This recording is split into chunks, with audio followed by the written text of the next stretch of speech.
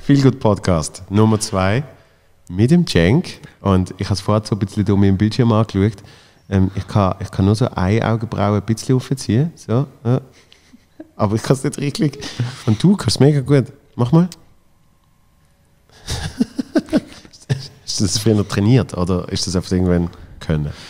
Nein, ich musste trainieren, abholen eigentlich. Bist du so konstant eine Stunde ja, ich rumgelaufen? bin eigentlich immer so. Hallo? Und dann haben die Leute nicht ernst genommen. Wenn du, wenn du ihnen gesagt hast, das ist aber ein schönes Baby. Das war alles so, so mystisch für mich. So, aha. Erster Tag im Kindsgit, die Leute denken so, ich bin bei der Schmetterling-Gruppe, okay. Aber stell dir vor, du siehst konstant so aus. Es gibt ja so Menschen. so beide. Oder kennst du die, die so aussehen? Das sage ich immer so. So traurig. Das Tränenface. Aber das ist ja aber genau, es gibt so Menschen, die haben so äh, das Basic, zum Beispiel das Resting, Resting Sad Face, oder? Ja. Wenn sie auf irgendetwas nachdenken, ist es so, Ja, voll. so mega mit dem traurigen Blick. Dann gibt es die, die so äh, Resting, Bitch Face haben. Ja, also, oder erneut, so genervt. Ja. Und ich habe zum Beispiel gemerkt, bin jetzt gerade wieder beim Coiffeur gesehen, ja. alle fragen sich warum, aber, aber ich habe dann gemerkt, wenn, wenn ich dann zuschaue, wie etwas bei mir gemacht wird, sie haben mir gesagt, ich würde immer so erstaunt aussehen, eben so, Aha. also mit den Augenbrauen da oben so, so kritisch und ich bin mehr so am Zuschauen, finde es so mega spannend. Yeah. Schon wie wenn du früher so, zum Beispiel die Zunge draussen gehabt hast, wenn du etwas geschrieben hast. Mhm, mhm. So im Hast Kindergarten. Ich habe immer die Zunge draussen gehabt. ja. Also, Aha. Mm, äh, hallo, ich wurde entführt. Nein, aber äh, das hat sich dann, mit der Zeit habe ich einfach darauf achten und dann ist es weniger geworden. So, ja. Bei mir haben sie immer das Gefühl, ich schreibe etwas mega tiefsinniges. So. die Augenbrauen so oben gehabt hast.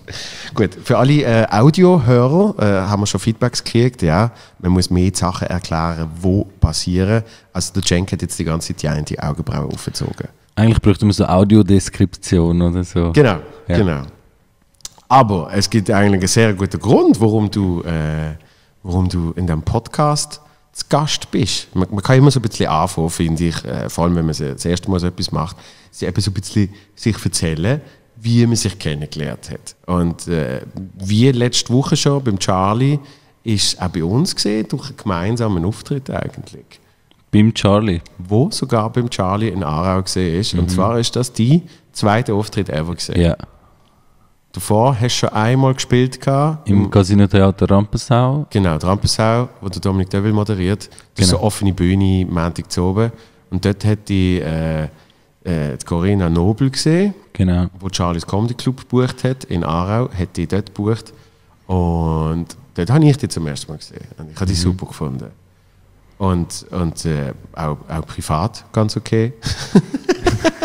War auch easy. Gewesen. Ja. Und, und dann, wie will man sagen, das ist eineinhalb Jahre her. Es ist einiges passiert seither.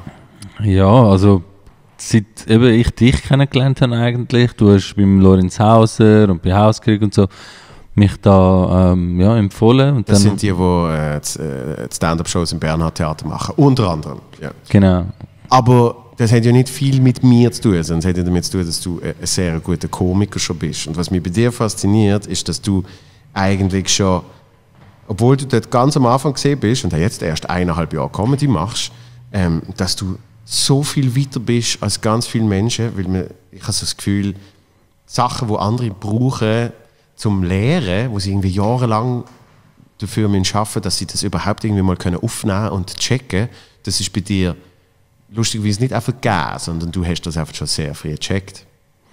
Also ich glaube, bei mir ist es so wie, wenn du so eine Leseratte hast, wo dann selber mal versucht zu schreiben und dann das auf einmal irgendwie im Gefühl hat, so intuitiv. Ich bin einfach ein Hardcore-Comedy-Konsument schon immer. Und habe auch immer äh, so strukturell gedacht und so im Hintergrund, so, wie macht er das, wie kommt er jetzt auf das, wie geht er von Thema zu Thema und was passiert dort eigentlich. Und einfach so das Handwerk hat mich immer schon mega interessiert und das hat wahrscheinlich so ein bisschen sich bildet so im Hintergrund und dann, wenn du es selber mal probierst, dann funktioniert es besser, als man erwartet. Vor allem, das ist genau der Punkt, dass du das, dass du das so analysieren kannst.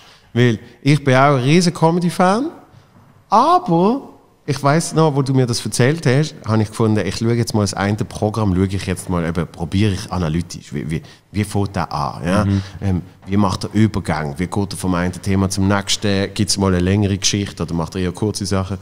Und das Problem ist, so nach 10 Minuten bin ich einfach wieder am Schauen und ich habe mega Freude. So, und finde es einfach lustig. Und, und du, du hast aber schon früher können, das so richtig analytisch ähm, anschauen und, und auseinandernehmen. Und, und, und ich habe das Gefühl, das ist bei dir ist das eine, eine, eine, Gabe, die du in vielen Bereichen hast. Weil, ähm, man sagt ja, ich habe das mal so ein bisschen gehört, dass du der beste Battle-Rapper gesehen bist in der Schweiz. Und das, das weiß keine Sau, das ist oft so nebenbei. Ja, beste Battle Rapper ist völlig übertrieben. Battle Rap gibt es in verschiedenen Kategorien. Es gibt immer gewonnen. Freestyle Battles zum Beispiel, die sich überhaupt nicht im Griff haben. Das, was ich habe, sind A Cappella Rap Battles. Mhm. Das ist äh, nochmal eine spezielle so eine Sparte dort drin und dort hat man keine Musik und man tut sich über Monate vorbereiten auf den Gegner. Also du hast das gemacht, andere haben am Abend vorher mal etwas geschrieben. So. Ja, das, jeder hat so seine eigene Methode, aber sobald ich weiß, wer mein Gegner ist, kann ich gar nicht aufhören an den denken und die ganze Zeit rattert es im Hintergrund. Und, ähm, man kann sich natürlich vieles auch abschauen, halt von amerikanischen Rap-Battles, wo einfach weißt, Mechaniken äh, anschauen, wo man könnte selber anwenden, Wortspiel, zweischichtig Sachen aufbauen und so Sachen. Das hat mich mega halt fasziniert und dann habe ich es ins Deutsche gut übertragen und mir ist einfach immer wichtig der halt Gegnerbezug und so. Und das hat halt irgendwie den Geschmack getroffen von den Leuten, die es bewertet haben, die selber ja auch mega fanatisch das Zeug schauen und dann äh, haben sie das so wiedererkannt und darum hat es dazu geführt. Und man muss auch dazu sagen, es ist nicht so, dass ich jetzt mich durchgebattelt habe durch die ganze Schweiz und alle geschlagen habe oder so. Es ist ein Event, wo sieben, sechs, sieben Battles stattfindet und jedes Battle wird einzeln gewertet und aus dem einen Battle raus tun sie alles eigentlich miteinander, also sie machen so Quervergleich eigentlich. Du schlägst nicht alle dort, das ist nicht so ein Turniermodus oder so. Es ist einfach ein Battle, du gegen deinen Gegner, alle anderen gegen ihre Gegner und das eine Battle wird dann so äh, halt bewertet, dass ja, wer hat den besten Text, wer hat die beste Performance, dann gibt es noch so einen Publikumspreis. Und ja, das habe ich zweimal mitgemacht und ja, und dann hat es es auch nicht mehr gegeben. Seitdem, also ich bin immer noch amtierender Champion sozusagen, du hast, aber, eigentlich, hast eigentlich perfekt getroffen, oder? aber weil es es halt nicht mehr gibt. Also, du hast den richtigen Moment getroffen, wo du mitgemacht hast, dann hast du gewonnen und dann hat es es nicht mehr gegeben. ja. Und jetzt kommen wir eigentlich zu dem freudigen Grund, wo, warum, äh, warum wir jetzt zusammen da sind. Da, da, für die, die es schauen. Ja, das ist gerade wieder weggegangen. Da. Juhu, da steht sogar Support, Support Cenk. Du bist äh, auf, auf meiner ganzen Tour bist du als Support Act dabei. Und zwar, weil wir, äh, also du bist schon bei der letzten ab und zu dabei gewesen, aber weil wir jetzt für die Tour uns gesagt haben, wir machen mal klassisch englisch-amerikanisches Konzept von einer Stand-up-Tour, wo zuerst äh, ein Support-Act auftritt, und zwar länger, nicht nur so 15 Minuten, sondern eher so 20, 25. Dann gibt es Pause und dann spielt in dem Fall ich, äh, spielt der Komiker, Kreis 4, es geht immer ab ich sag's dir, spielt der Komiker sein Ding am Stück etwa 70 Minuten, 60, 70 Minuten. So. Und ähm, wenn das jetzt rauskommt, ich weiß nicht genau, welcher Tag das ist, aber dann sind wir zumindest äh, in unserer Baselwoche, 15. bis 19. Oktober, und haben auch schon das zweite Tryout gehabt. Jetzt, wo wir es aufnehmen, haben wir ein Tryout gehabt, wo wir das zusammen gemacht haben. Und ich muss sagen, äh, ich finde, das Format funktioniert gut und ich finde, äh, du funktionierst gut. Weil du machst, du machst Stand-up, wo äh, eine eigene Note hat und irgendwie so eine, so eine Frische hat. Es ist, ist oft wahnsinnig lustig.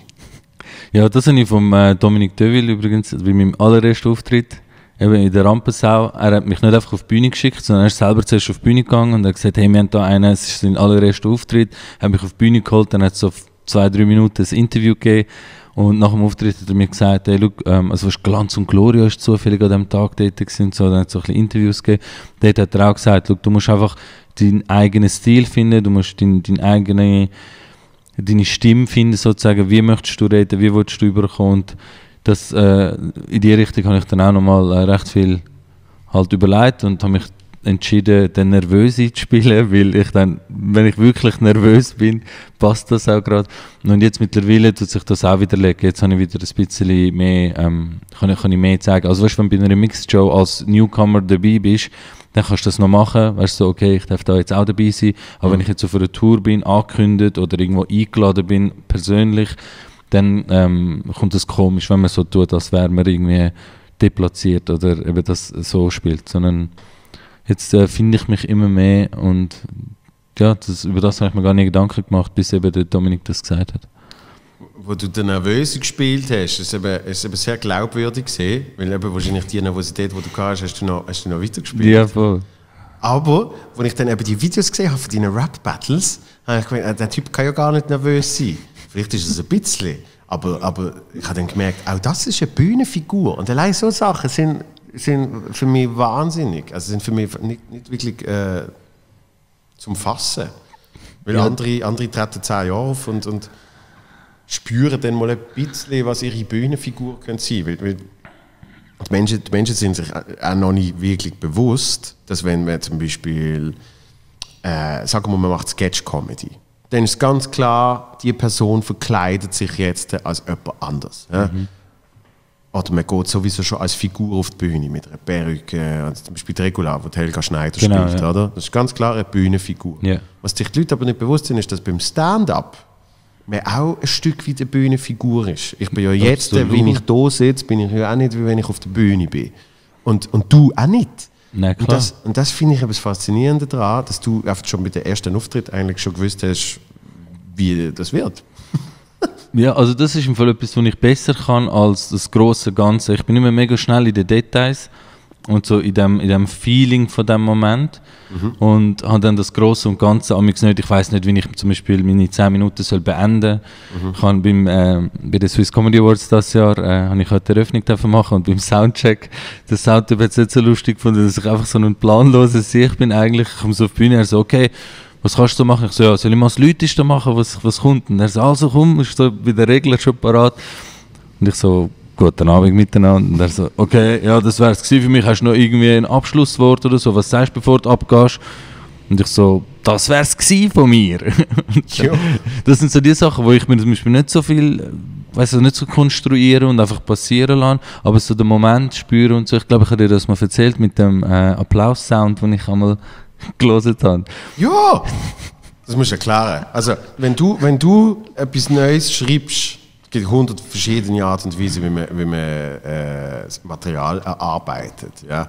Und es gibt klassisch auf, auf ein Papier schreiben, es gibt Notizen, es gibt Text Wort für Wort, äh, es gibt auf der Bühne arbeiten mit Improvisation, wo man aber schon einen Plan hat. Es gibt wirklich, es gibt kein richtig und es gibt kein falsch und es ändert sich auch immer wieder, bei mir zumindest, wo ich merke, ich mache so ein bisschen alles. Und du hast aber etwas ganz Spezifisches. Du stellst dir vor, ich, ich sage es jetzt richtig, oder? Wie, wie du auf der Bühne bist und dann, was machst du dann? Also, ich äh, gehe auf YouTube und dann gebe ich dort ein Applaus-Sound und dann gibt es so das erste Video, das kommt, ist so ein 14 Sekunden Clip, wo einfach nur so ein Soundeffekt ist von irgendeinem Saal mit, ich weiß nicht, vielleicht 50 bis 100 Leuten oder so. Und das habe ich so angefangen irgendwann, dass ich einfach den Applaus-Sound 14 Sekunden lang Play drücke und das höre und dann klingt der Applaus-Sound so aus. Und dem Moment spürst du dann so, wie, wie die Energie im Raum sein wird und dann denkst du, okay, was jetzt? Und dann kommt etwas und dann tue ich das einfach so ausrollen und von dort weiter arbeiten und mache einfach Sprachnotizen anstatt aufschreiben. Eben, und du überlegst dir dann in dem Moment, wa- was müsste ich jetzt sagen, damit es lustig wird. Ja.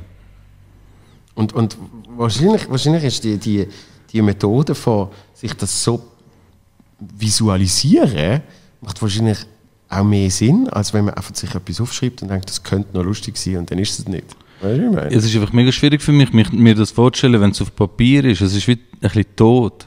Also, also weißt, du müsstest es ja mündlich schreiben und so. Und es ist, es ist von der, es darf nicht so ausformuliert sein und es muss ein bisschen ein Ä und M und so muss noch drin sein, irgendwie finde ich. Und wenn du es schreibst, dann ist es irgendwie komisch, weil du stehst ja dort und du musst reden vor den Leuten und ich muss mir dann das genau so vorstellen, wie ich vor den Leuten stehe, wie ich ins Publikum schaue, wie sie mich anschauen und dann, dann, dann kommt es erst. Ich finde es faszinierend. Und es ist wirklich, es ist ko komplett anders als, als irgendjemand sonst schafft, den ich kenne, äh, geschweige denn ich.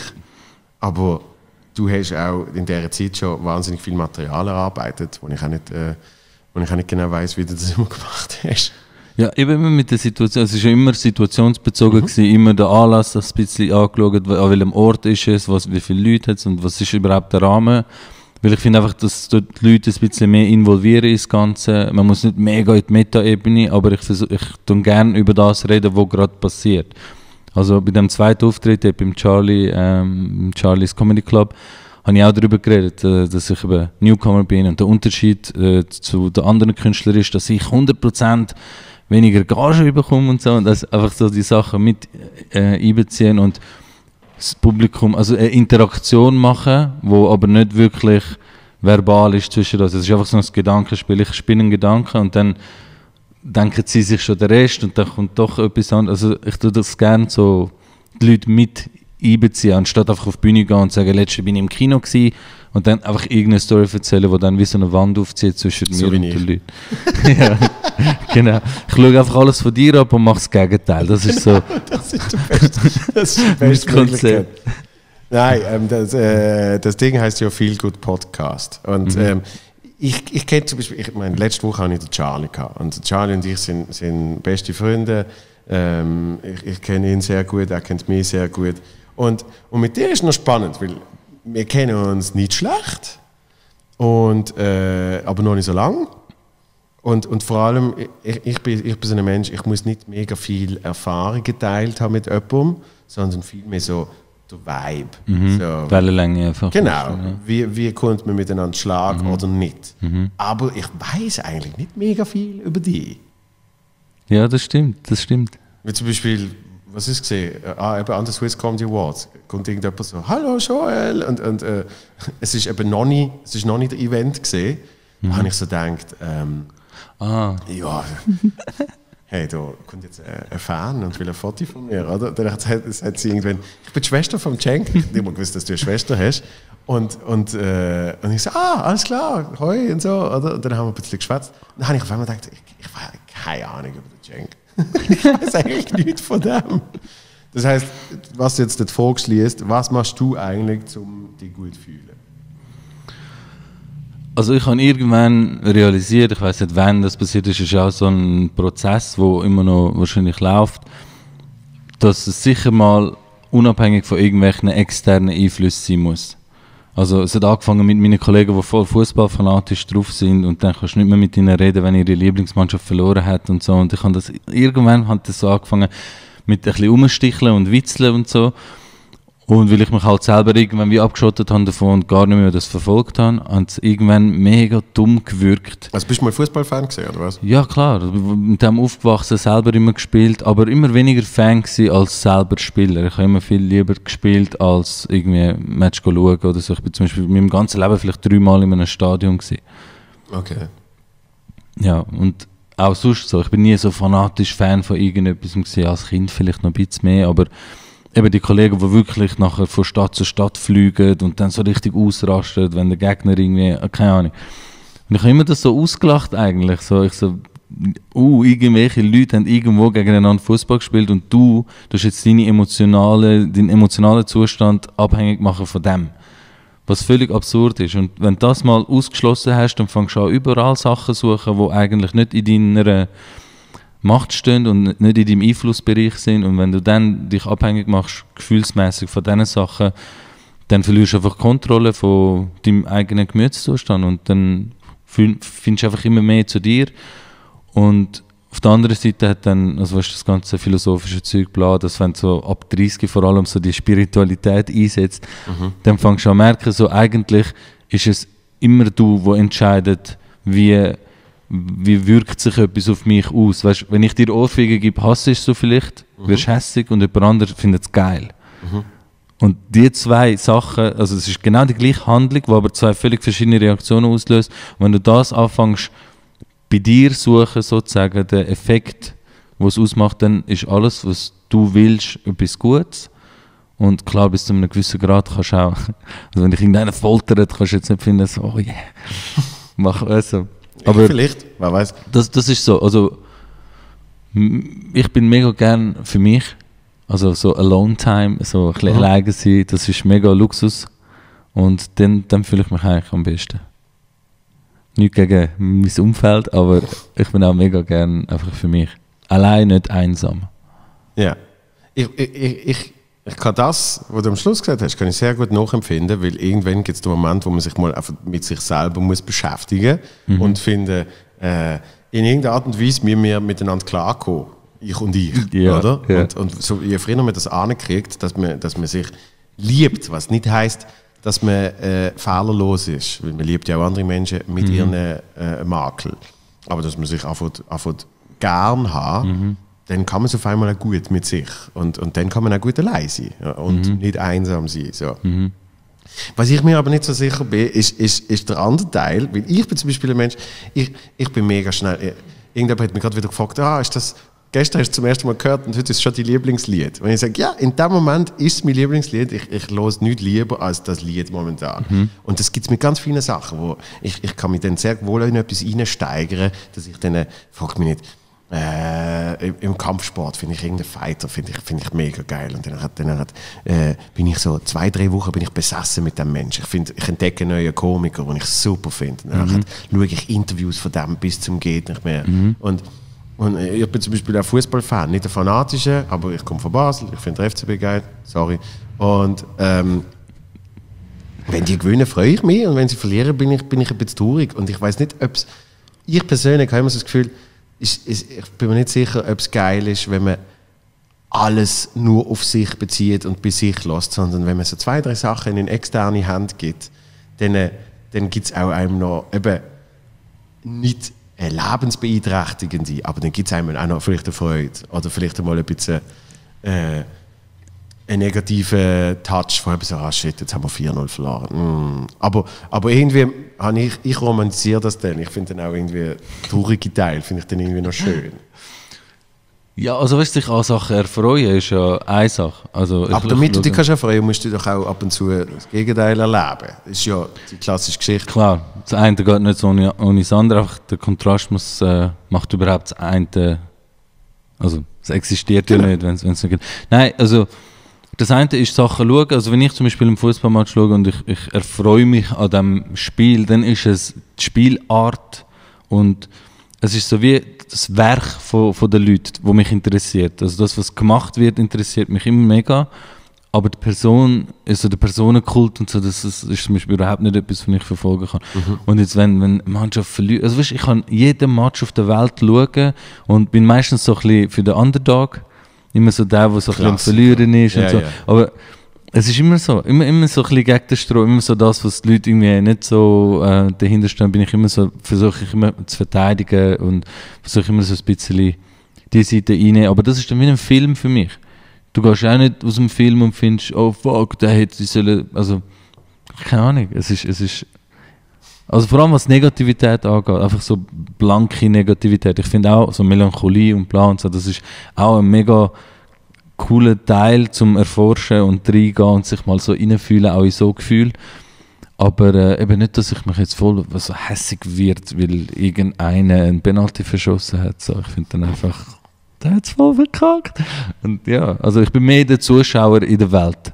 Allgemein. Ich, ich bin, ergreife fast nie eine Partei für irgendetwas und schaue einfach zu und finde so, pff, weißt, lieben sie sich, ist chillig, schlachten sie sich ab, easy. Also ich bin überhaupt nicht einer, wo, wo da versucht, irgendwie seine eigene Doktrin irgendwo durchzusetzen und findet, ich werte jetzt Sachen anhand von meinen Idealen oder so. Ich finde einfach, ich lasse es passieren und schaue einfach zu.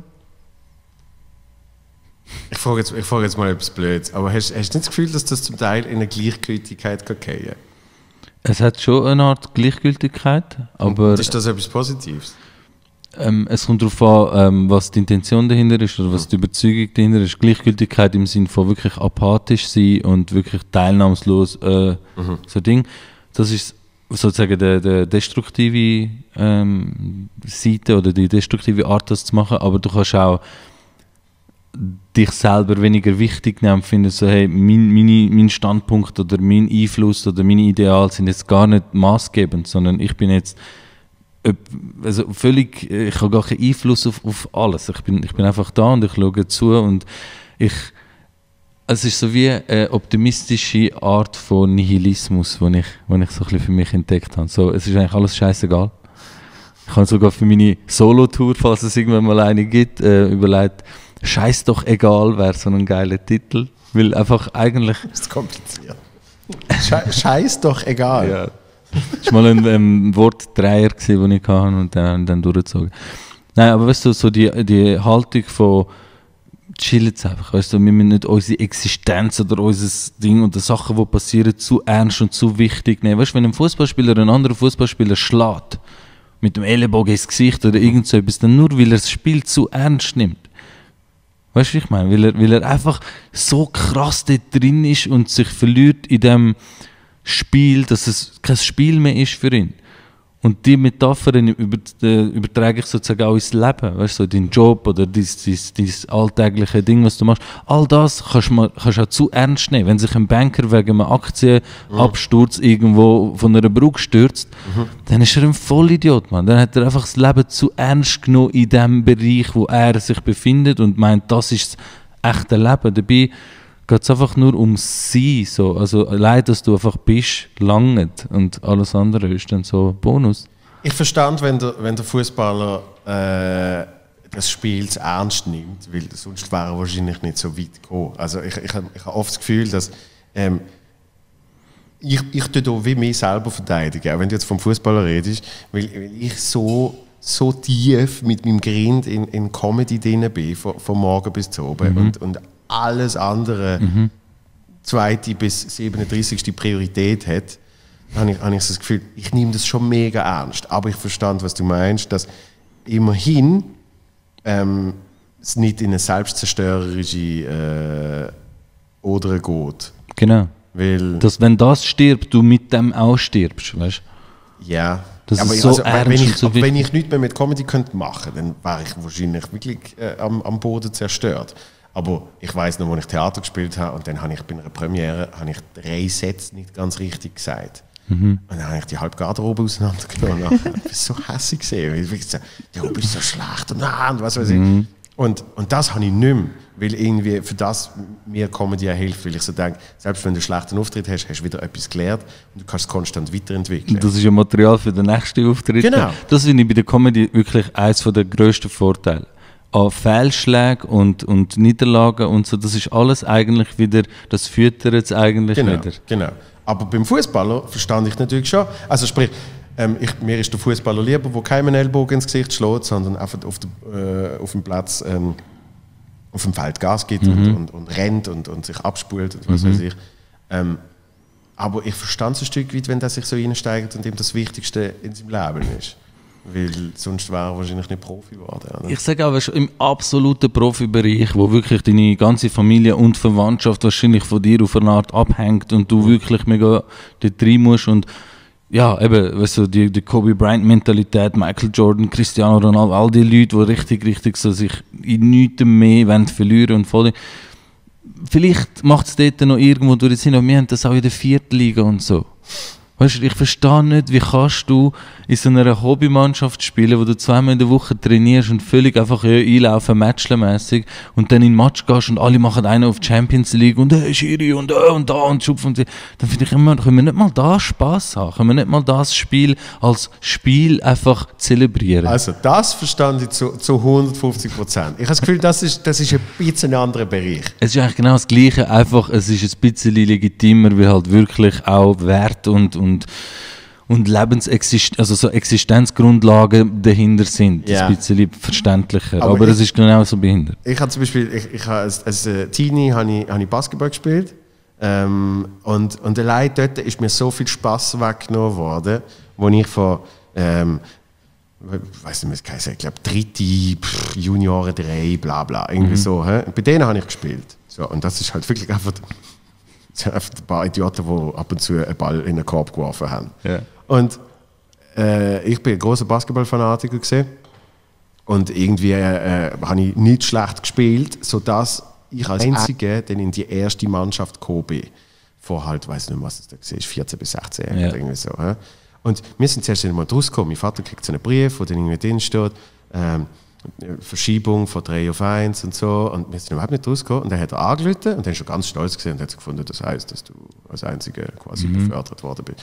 So, und dann nachher habe ich, ohne Scheiß, kaum ist der Bescheid gekommen, habe ich so riesengroße Eier gekriegt. Weil ich einfach gefunden habe, ich bin so viel besser als die alle, weil ich bin als Einziger befördert worden. Und dann, das ist wahrscheinlich der beste Match, den ich jemals in meinem Leben gespielt habe.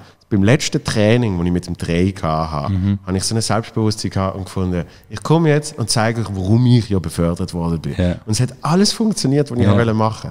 Ich habe, ich habe irgendwie, einen habe ich dann sogar äh, so richtig übertrieben bluffig, wo dann halt eigentlich müsste äh, verschlossen werden für so Zeug. So einen zwischen die Beine geworfen und, und so einen No-Look-Pass und alles so Zeugs. Und am Schluss habe ich mit 32 Punkten gemacht in einem Trainingsmatch, wo eine Halbzeit gesehen ist. Und bin dann so gegangen, so von wegen, tschüss, der Pisser. Macht's gut, ihr Idioten. So, oder? Und dann äh, komme ich in die erste Mannschaft und dort ist es schon oh, irgendwie mega, mega Druck und irgendwie so, so Psycho-Games in der Garderobe. Das sind irgendwie 14-jährige Buben, weißt du, wie ich meine? voll. Und, und es ist dann wirklich, alles wird verglichen und äh, auch in der Dusche wird alles also nein, es ist dann wirklich so völlig übertrieben, es geht dann konstant Ja. und auch, du bist eigentlich Teamkollege, aber er macht dich dann irgendwie psychisch auch noch ein bisschen kaputt. Und dann äh, habe ich jetzt vor, ja, das ist jetzt wieder drei, vier Jahre oder so, habe ich gedacht, ich spiele äh, in so einem in so einem Plauschverein mit. Und das war am Montag zu oben. Gewesen. Und das sind erwachsene Männer, die ihre ganze Frust, wo sie am Montag innerhalb von acht Stunden, seit sie wach sind, sich schon angestaut haben, dort dann rauslassen. Wo ich dann genau das Gleiche denke wie Ja. du. Kann man nicht einfach Spaß haben an dem Ja, Spiel? ja voll. Sondern wirklich, die einen haben mal eine Schlägerei gekriegt. Und zwar wirklich wegen so, das dritte Mal, wo du mir irgendwie so, so von der Seite blockst und der andere, was ey, fick ey, und so. Und dann wirklich haben die sich verschlagen. Ein 35-Jähriger und ein 28-Jähriger. So, was läuft mit euch? Und Trash Talk ist ja auch ein grosser Teil beim Basketball. Aber, aber Trash Talk ist nicht das Gleiche wie du kommst mit einem Frust in ein Training, wo wirklich, das ist so gar nicht gegangen. Also, äh, das sollte eigentlich wirklich ein bisschen Spaß machen. Ja. Und dann habe ich auch gemerkt, das ist nicht so mein Ding. Und aber dann hast du also, einer findet irgendwie, fragt mich nicht, der, pff, ich, ich finde jetzt der Curry ein geiler Spieler und bewegt sich dann so Mhm. Ja, wie. Und ja, dann, und dann hat, regt er sich auf, dass er, dass, er den Korb nicht so drauf du unbedingt die Nummer auch haben. Ja, ja, so. genau. ja, ja, sicher, sicher. Und, und das verstand ich dann wieder zu 100 Prozent. Und logischerweise, äh, äh, äh, Fanatismus ist dann zum Teil auch schwierig, weil beim Fußball finde ich es geil, ich gehe öfters an einen Match. Und beim Fußball hast du dann immer so zwei, drei drumherum, wo wirklich auch wegen jedem Scheiße weißt, und sich nicht mehr spüren, oder? Und dann aufstehen und, und du sagst, Alter, isst doch auf deine Wurst. Ja. Freu dich, wenn es ein Goal gibt. So. Aber es, es gibt dann schon so extrem. Ja. Aber, aber eben, was, was, was ich dann immer so ein bisschen Angst habe, ist, zum Beispiel, ich mache jetzt keinen Sport, weil ähm, das Basketball-Ding hat mich auch wieder ein bisschen gestresst und so. Und ich hatte dann zum Teil Angst, ah shit, mache ich aber irgendwie sonst zu wenig. Weißt du? Und was machst du denn Aus dem sozialen Aspekt oder Nicht sportlich? einmal Soziales, sondern äh, grundsätzlich. Weißt du, wenn ich, auf, ich, ich stand auf, ich mache Comedy. Jetzt, jetzt mache ich einen neuen Podcast, äh, ab und zu eine Radiosendung. Und, und das ist es eigentlich so, oder? Und dann denkst du ja, aber eben vielleicht, ich kann mir jetzt auch nicht vorstellen, dass ein Fitnesscenter der Erfüllung ist. Nein, Oder, nein. oder Joggen. Also im Joggen ist noch kommt drauf an. Also auf dem Laufbahn nicht, nein. Also, nein. Ich, ich, ich, Auf der Bus rein amigs, das, ist regelmäßig. Eben, das sind so Sachen für mich. Ich, kann zum Beispiel, ich bin noch nie länger schwimmen. Hm. Hm. Ich bin noch nie, einmal bin ich joggen und habe es bereut. So. Und nicht zweimal, einmal mit einem Kollegen. Wo ich dann am Anfang so dachte, super, weißt du, siehst du immer so, ja, und dann schwätzen wir so miteinander. Und dann hatte ich so, ja, auf jeden Fall bin ich gestern dort an und dann habe ich das gemacht. Und irgendwie so, nach zehn Minuten habe ich gemerkt, es bringt eh nicht, wenn ich jetzt mit ihm schwätze, weil er so, und, und dann habe ich so gedacht, ich sehe wie nicht den Sinn dahinter. Dass eben auf einen Bus rennen, denke ich, ja, du musst den Bus kriegen. Ja, ja. Oder? Und Aber so ein zielloses Mensch. Surfen, ich liebe Surfen. Mhm. Und dort kraulst du wie der größte Vollhonk, dass du überhaupt mal die Welle kriegst und Mhm. dann kannst du draufstehen. Und das macht Sinn für mich. Wenn du sagst, sonst kriegst du die Welle nicht. Ja. Aber, aber in in einem Becken, so, oh, Mhm. jetzt ist die Wand. Oh, jetzt ist die andere Wand. Aber irgendwann braucht es doch noch, äh, eben, braucht es irgendwie vielleicht noch etwas. Ja, weil, es kein Ziel hat, sozusagen. Weil Ja. du nicht von A nach B gehst, sondern du bist einfach im Ding. Aber ich glaube, das hat schon auch so ein, nebst dem Sport, weißt du, so ein, einfach den Moment fühlen, so, so, so, ein, so ein Element von, fast so meditativ. Vor allem beim Schwimmen. Wenn du einfach drin bist und das machst und, und, und so wie das, der Weg ist das Ziel sozusagen, dass das eigentlich das ist. Ich finde, beim Joggen habe ich es gemerkt, mit, äh, wenn du Kopfhörer drin hast und irgendein geiler Sound läuft und du bist dann irgendwo, wo vielleicht, weiß nicht, ich fühle mich dann wie in einem Film, weißt so, wo du so Ja, ja, ja. irgendwo am Berg drauf rennst und oben ankommst und dann hast du eine Aussicht und die Musik macht so wie den Soundtrack zu dem, was du gerade machst Absolut. dann kannst du dich schon im Moment verlieren oder ein bisschen einfach so ein bisschen wieder frei und, und aufatmen, auch seelisch sozusagen. Das sind so Aspekte, die es wahrscheinlich auch ausmacht, so der, das Sport-High, wo du, wo du bekommst. Aber ich, ich habe das Gefühl, ich habe das auch ohne Sport. Absolut, sicher, eben. Also ich, ja, ja. ich, zum Beispiel, eben, ich höre extrem gerne Musik auf den Kopfhörer und, und wenn, ich, wenn ich in irgendeiner fremden Stadt bin, dann liebe ich es einfach rumzulaufen. ja, voll. Du laufst das. schon anders, Ja. nicht? Genau. Steigst du aus dem Bus und der Sound kommt und du Ja, und denkst, ich- du bist so voll im Videoclip. Ich höre ab und zu höre ich Jazz und dann habe ich aber gemerkt, ich kann nicht Jazz hören im Auto. Ähm, ich, kann nicht, ich kann nicht Jazz hören, wenn ich schnell nebenan muss, weil das tut mich dann so wie zusätzlich stressen. So. Hingegen, wenn ich wirklich Zeit habe und einfach mal eben, find, ich gehe jetzt spazieren oder so und dann höre ich Jazz, dann finde ich es großartig. Das ist jetzt, jetzt, irgendeine John Coltrane Lost Album hat es jetzt wieder gegeben und dann habe ich das gehört.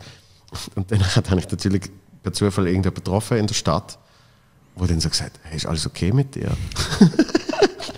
ich so anscheinend so, ich kann es mir nur vorstellen, ich so völlig abgespaced so mit Jazz so durch die Stadt laufe, so.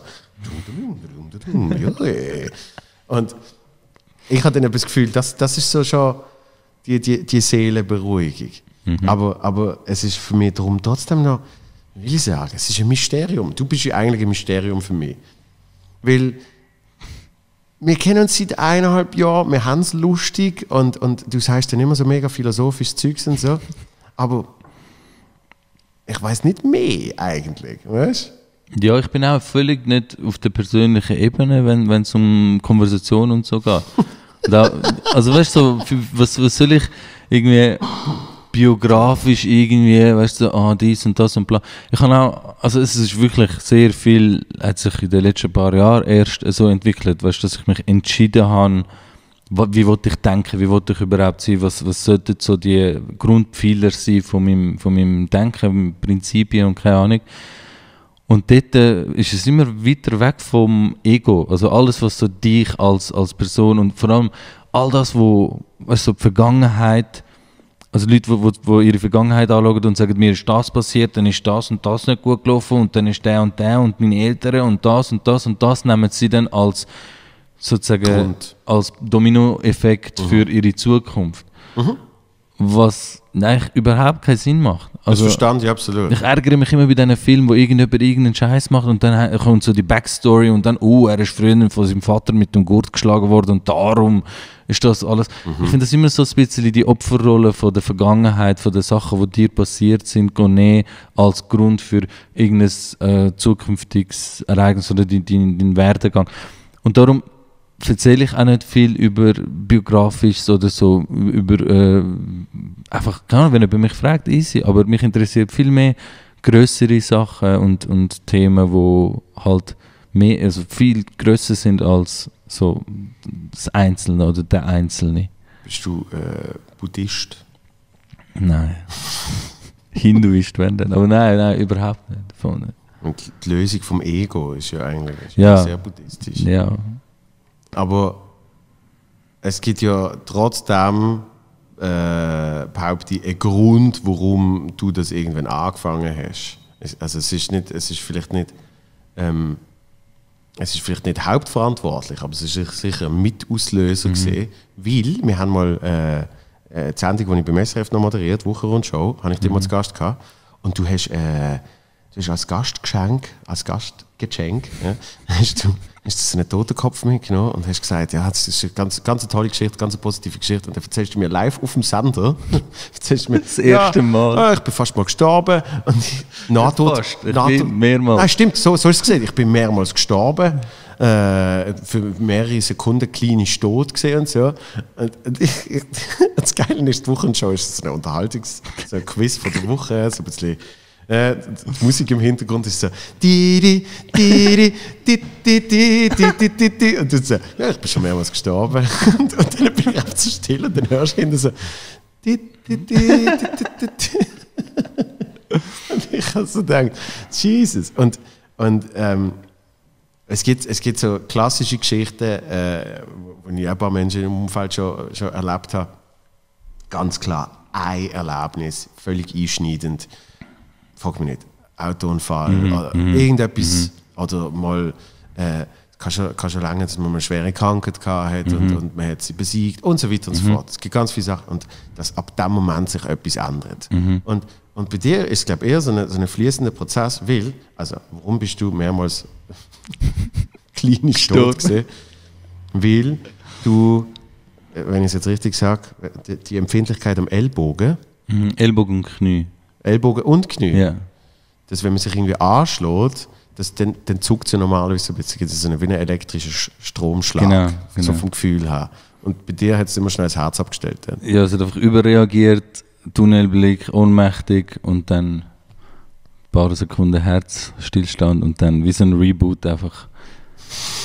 Wo dann, Und dann äh, hat die Mutter dir ein Medikament gegeben. also es ist so, es ist ein paar Mal passiert. Das erste Mal, wo ich irgendwie einen Monat oder zwei, drei Monate alt war, bin, hat mich mein Vater so aus dem, aus dem Babybett so rausgelupft.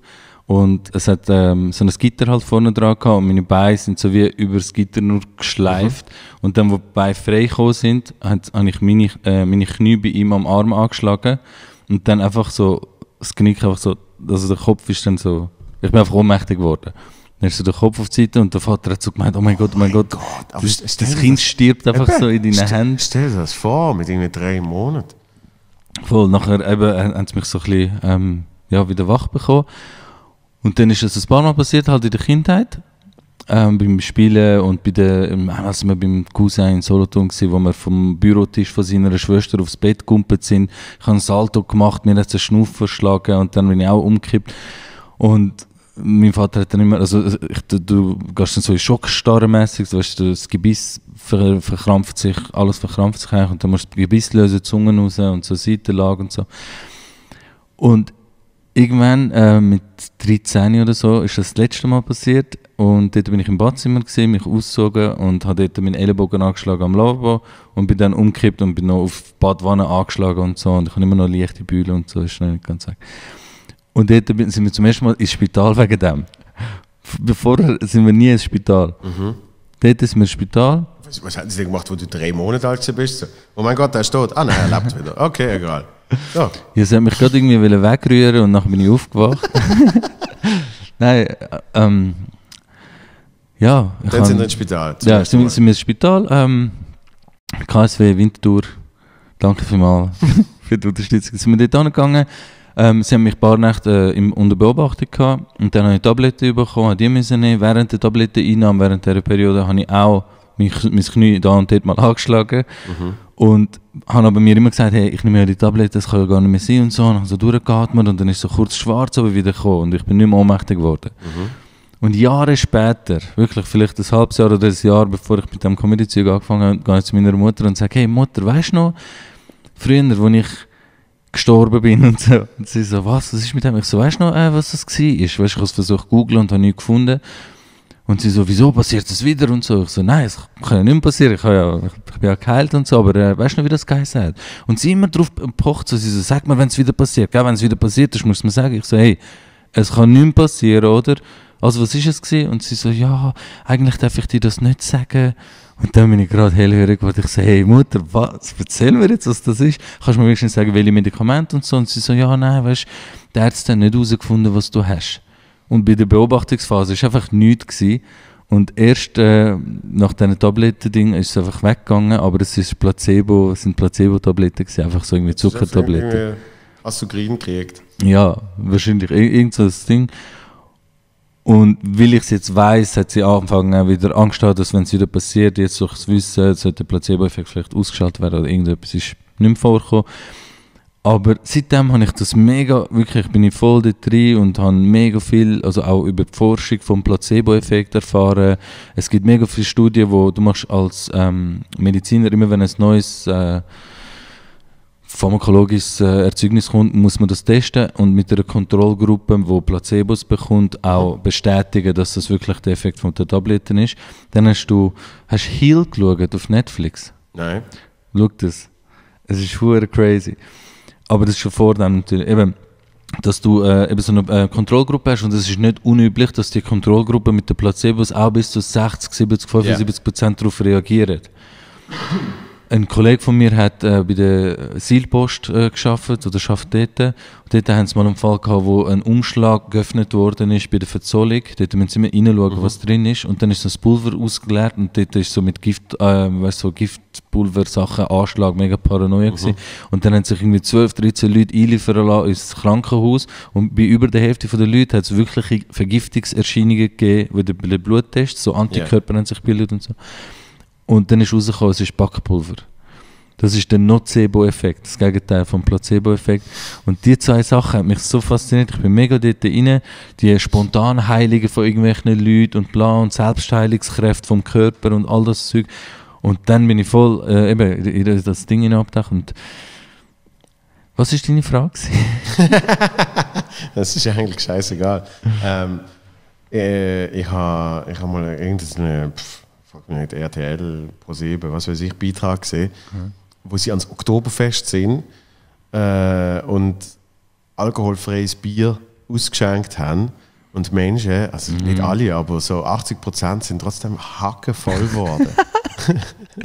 Einfach, und zwar wirklich, weißt du, so, hey, was hast du gefühlt, wie viel hast du jetzt pro Mehl? Ah, sie hat 2,1, ja, ich hatte schon vier Massen und so. Und dann machen sie den Alktest und es ist wirklich 0-0. Außer eine, die hat dann wirklich gesagt, ähm, ganz ehrlich, ich habe zwei Maß getrunken, normales könnte ich jetzt nicht mehr stehen, das kann nicht Ja. sein. So. Und, aber alle anderen haben sich wirklich stockbesoffen gefühlt in dem Moment. Ist das ein Placebo oder Nocebo? Das ist Nocebo, oder? Drauf an. Alkcebo. Drauf an. Nein, ich glaube schon ein Placebo, weil du, weil du ja etwas. Einnimmst in, in, der, in der Erwartung. Genau. Ja. Und äh, was ist das? Heal auf Netflix, Ja. wo es um das geht. Genau, wo mega viele Leute äh, darüber berichten, wie sie, wie sie selber sich geheilt haben. Die eine Frau hat irgendwie Krebs gehabt und überall Tumore, die ganze Wirbelsäule durch und im Kopf und dort und dort und ist eigentlich ins Koma gefallen. Wegen der, äh, wirklich, es war Endstadium gewesen. Und hat dann so einen Moment gehabt, wo sie in der, weiß nicht, geistigen Welt sozusagen sich gefühlt hat, in dem, in dem halt, dort wo du halt bist nach dem Tod, wo auch immer. Und hat irgendwie ihren Vater gespürt, seine Präsenz und hat wahrscheinlich mega Probleme gehabt mit ihrem Vater und hat dort aber von ihm wie so das Gefühl bekommen, so überhaupt keine Verurteilung wegen was auch immer. Und hat so die pure Liebe gespürt in dem Moment, ist aufgewacht. Und dann hat sich wie ein Knopf gelöst bei ihr und sie hat sich im, im Eiltempo ist sie geheilt worden.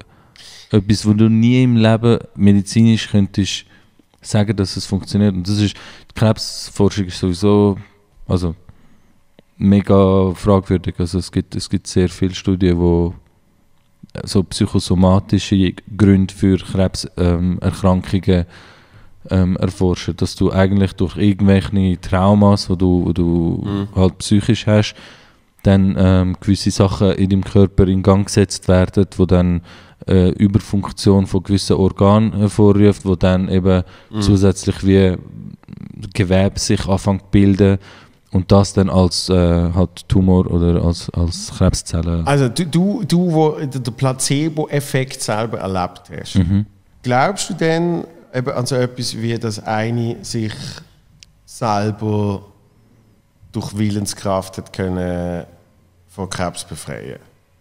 Also, Oder kann das einfach äh, eins von Millionen Fällen sein, wo man es halt nicht kann erklären kann, warum? Oder vielleicht kann man sogar mittlerweile es lange ja, wenn einer passiert. Ja, meine, aber es ist, das ist eben die Frage. Ja. Ja, also ich glaube eben, zum, zu deiner Ursprungsfrage zurückkommst, mir jetzt in den Sinn gekommen, wegen einem einschneidenden Erlebnis im Leben, Ja. wo dann die Leute umdenken und so, finde ich auch immer ein bisschen kritisch. Weißt, vor allem, gibt viele, die einen Autounfall haben, nachher mega religiös werden oder sich irgendwo sonst irgendwo drin verfangen. Und bei mir ist es wirklich so ein schleichender Prozess mhm. von Sachen, die lang vorbei sind, aber wo ich jetzt neu aufgerollt habe und wieder neu anfange an darüber zu denken. Und eben, es ist, es ist so viel mehr als, als das physische, körperliche, wo wir halt so uns damit abfinden. Und, und das ist halt mega spannend, zum darüber hinaus Sachen erforschen und, und überlegen, was, was also so die Natur vom Mensch eigentlich ausmacht, nebst dem physischen. Aber du hast auch mal einen schlechten Tag, oder? Ja, ja, sicher. Ich sage nicht, dass ich mich dem entziehen kann, dass mir mhm. Sachen widerfahren, wo, mich dann, wo ich dann einen Anschiss habe oder so. Ich meine, so, jeder hat einen Job und weiß, wie, wie so Einflüsse auf einen wirken können. Mein letzter Job ist ja nicht also immer nur ein Happy Day oder so. Also ich kann, ich kann, also was mich negativ am meisten beeinflusst, sind Freiheitseinschränkungen. Mhm. Und zwar in jeglicher Form. Egal wie, auch wenn ich jetzt nur muss meiner Mutter wieder zuhören, wie sie ihren Tag mir muss erzählen und das Mitteilungsbedürfnis hat und überhaupt keine Storytelling-Skills den Tag legt und einfach nur chronologisch abrackert und du schon das Ende siehst und eigentlich sagst, okay, ich weiß, was anführt. Ähm, auch so Kleinigkeiten, einfach so ein bisschen eben die, die Freiheit, also Fremdbestimmungsgrad von meinem Leben ist das Einzige, was mich irgendwie noch negativ beeinflusst. Sobald ich meine letzte Kette sozusagen abgelegt habe, wäre ich vollkommen glücklich, weil dann kann ich meinen Alltag bestimmen. Und wenn, solange du acht Stunden am Tag irgendwo sein musst und für jemand anderen aktiv bist als für dich selber, dann musst du krampfhaft deine eigene Bestimmung in dieser Tätigkeit suchen und dir selber so Sinn geben in dem, was du machst, wo das habe ich, das habe ich, äh, habe ich lange als Gefühl gehabt und jetzt, jetzt bin ich vollberuflich Komiker mhm. Und habe nicht das Gefühl, dass ich fremdbestimmt bin. Mhm. Und trotzdem habe ich 120 Termine im Jahr und das zum Teil schon zwei Jahre im Voraus, ja. fix. Also ich weiß nicht, ob das jemals ganz kann verschwinden kann. Na klar, aber du machst die Termin. Also es wird für dich gemacht und du hast immer noch dein Vetorecht bei jedem Termin. Mhm. Du weißt aber, es ist äh, Einnahmequelle zum Teil, wo du, wo du halt Sachen musst machen. Aber es ist trotzdem so, wenn es ein Kompromiss ist, dann ist es immer noch die absolut beste Option von diesen freiheitseinschränkenden Sachen, zum sagen, ich mache etwas, was mir gefällt. Das halt in dem Maß, dass es mich ähm, doch einschränkt, also meine, mhm. meine Zeit halt verplant ist aber das ist völlig ähm, von dir aus. Das Schöne bei dir finde ich, dass du, dass du, so, eine, äh, dass du so einen gesunden Optimismus und so eine, so eine schöne Euphorie hast auch gegenüber so Sachen. Weil ähm, eben, du machst noch nicht lange Comedy und, und ich muss sagen, du hast, du hast mich persönlich auch wieder ein bisschen beflügelt, weil du so Freude hast an dem. Und, und manchmal, manchmal verliert man sich in dem ganzen Ding drin, wo, wo man sich eben dann auch kurz sich zurückerinnern muss und mit sich selber muss schwätzen vor sechs Jahren. Wo ich das, wir, haben müssen sagen, vor sechs Jahren habe ich mal davon geträumt, überhaupt jemals mit einem Soloprogramm aufzutreten. Mhm.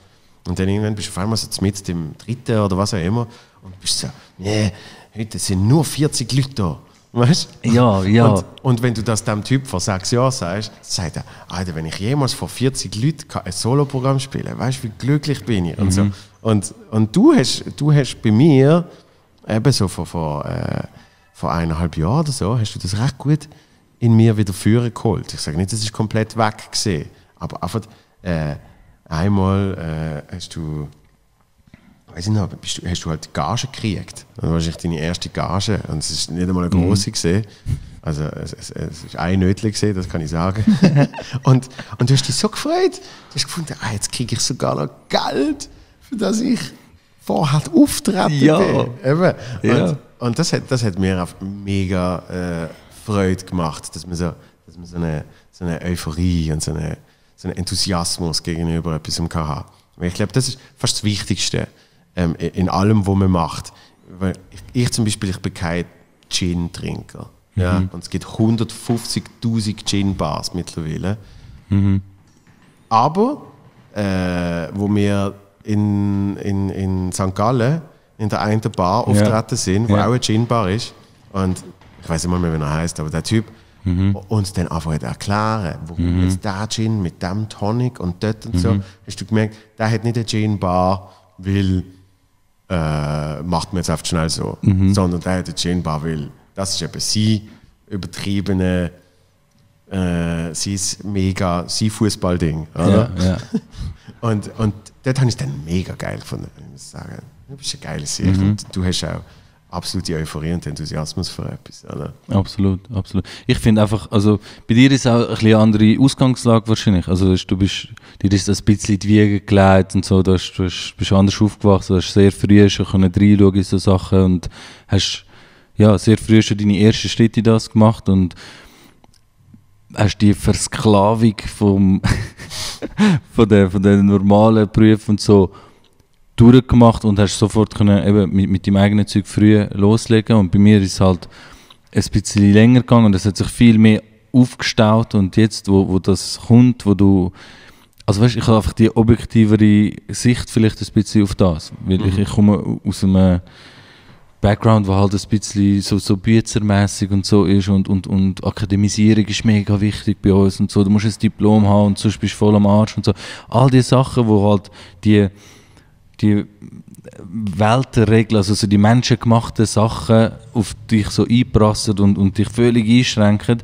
Auf einmal bist du in einer anderen Welt und sagst, hey, ich bin vor Leuten gestanden, habe 10 Minuten absurden Scheiß erzählt von irgendwelchen Monobrauen, wo, weißt du, wirklich Sachen, wo, wo die Leute einfach nur unterhalten haben und, und in dem Moment alle zusammen einfach den Moment haben können geniessen und dann komme ich auf die Bühne und das bringt sogar Geld. Also da, da, da, die, Absurdität von dieser Realität hat mich einfach mega fasziniert und das ultra, ultimative Privileg, wo das ist, das dürfen zu machen, das möchte ich nie verlieren. Und das ist halt etwas, wo eben mit der bewussten Herangehensweise, glaube wenn, wenn du reinkommst oder drei, weiß ich nicht, so, so ein bisschen dich reinlebst, so langsam und es passiert einfach, ist eine andere Sache, als wenn du dich mega bewusst musst für den Schritt entscheiden und sagst, okay, das ist jetzt ein neues Leben, eine neue Art vom, vom, vom Unterhalt verdienen.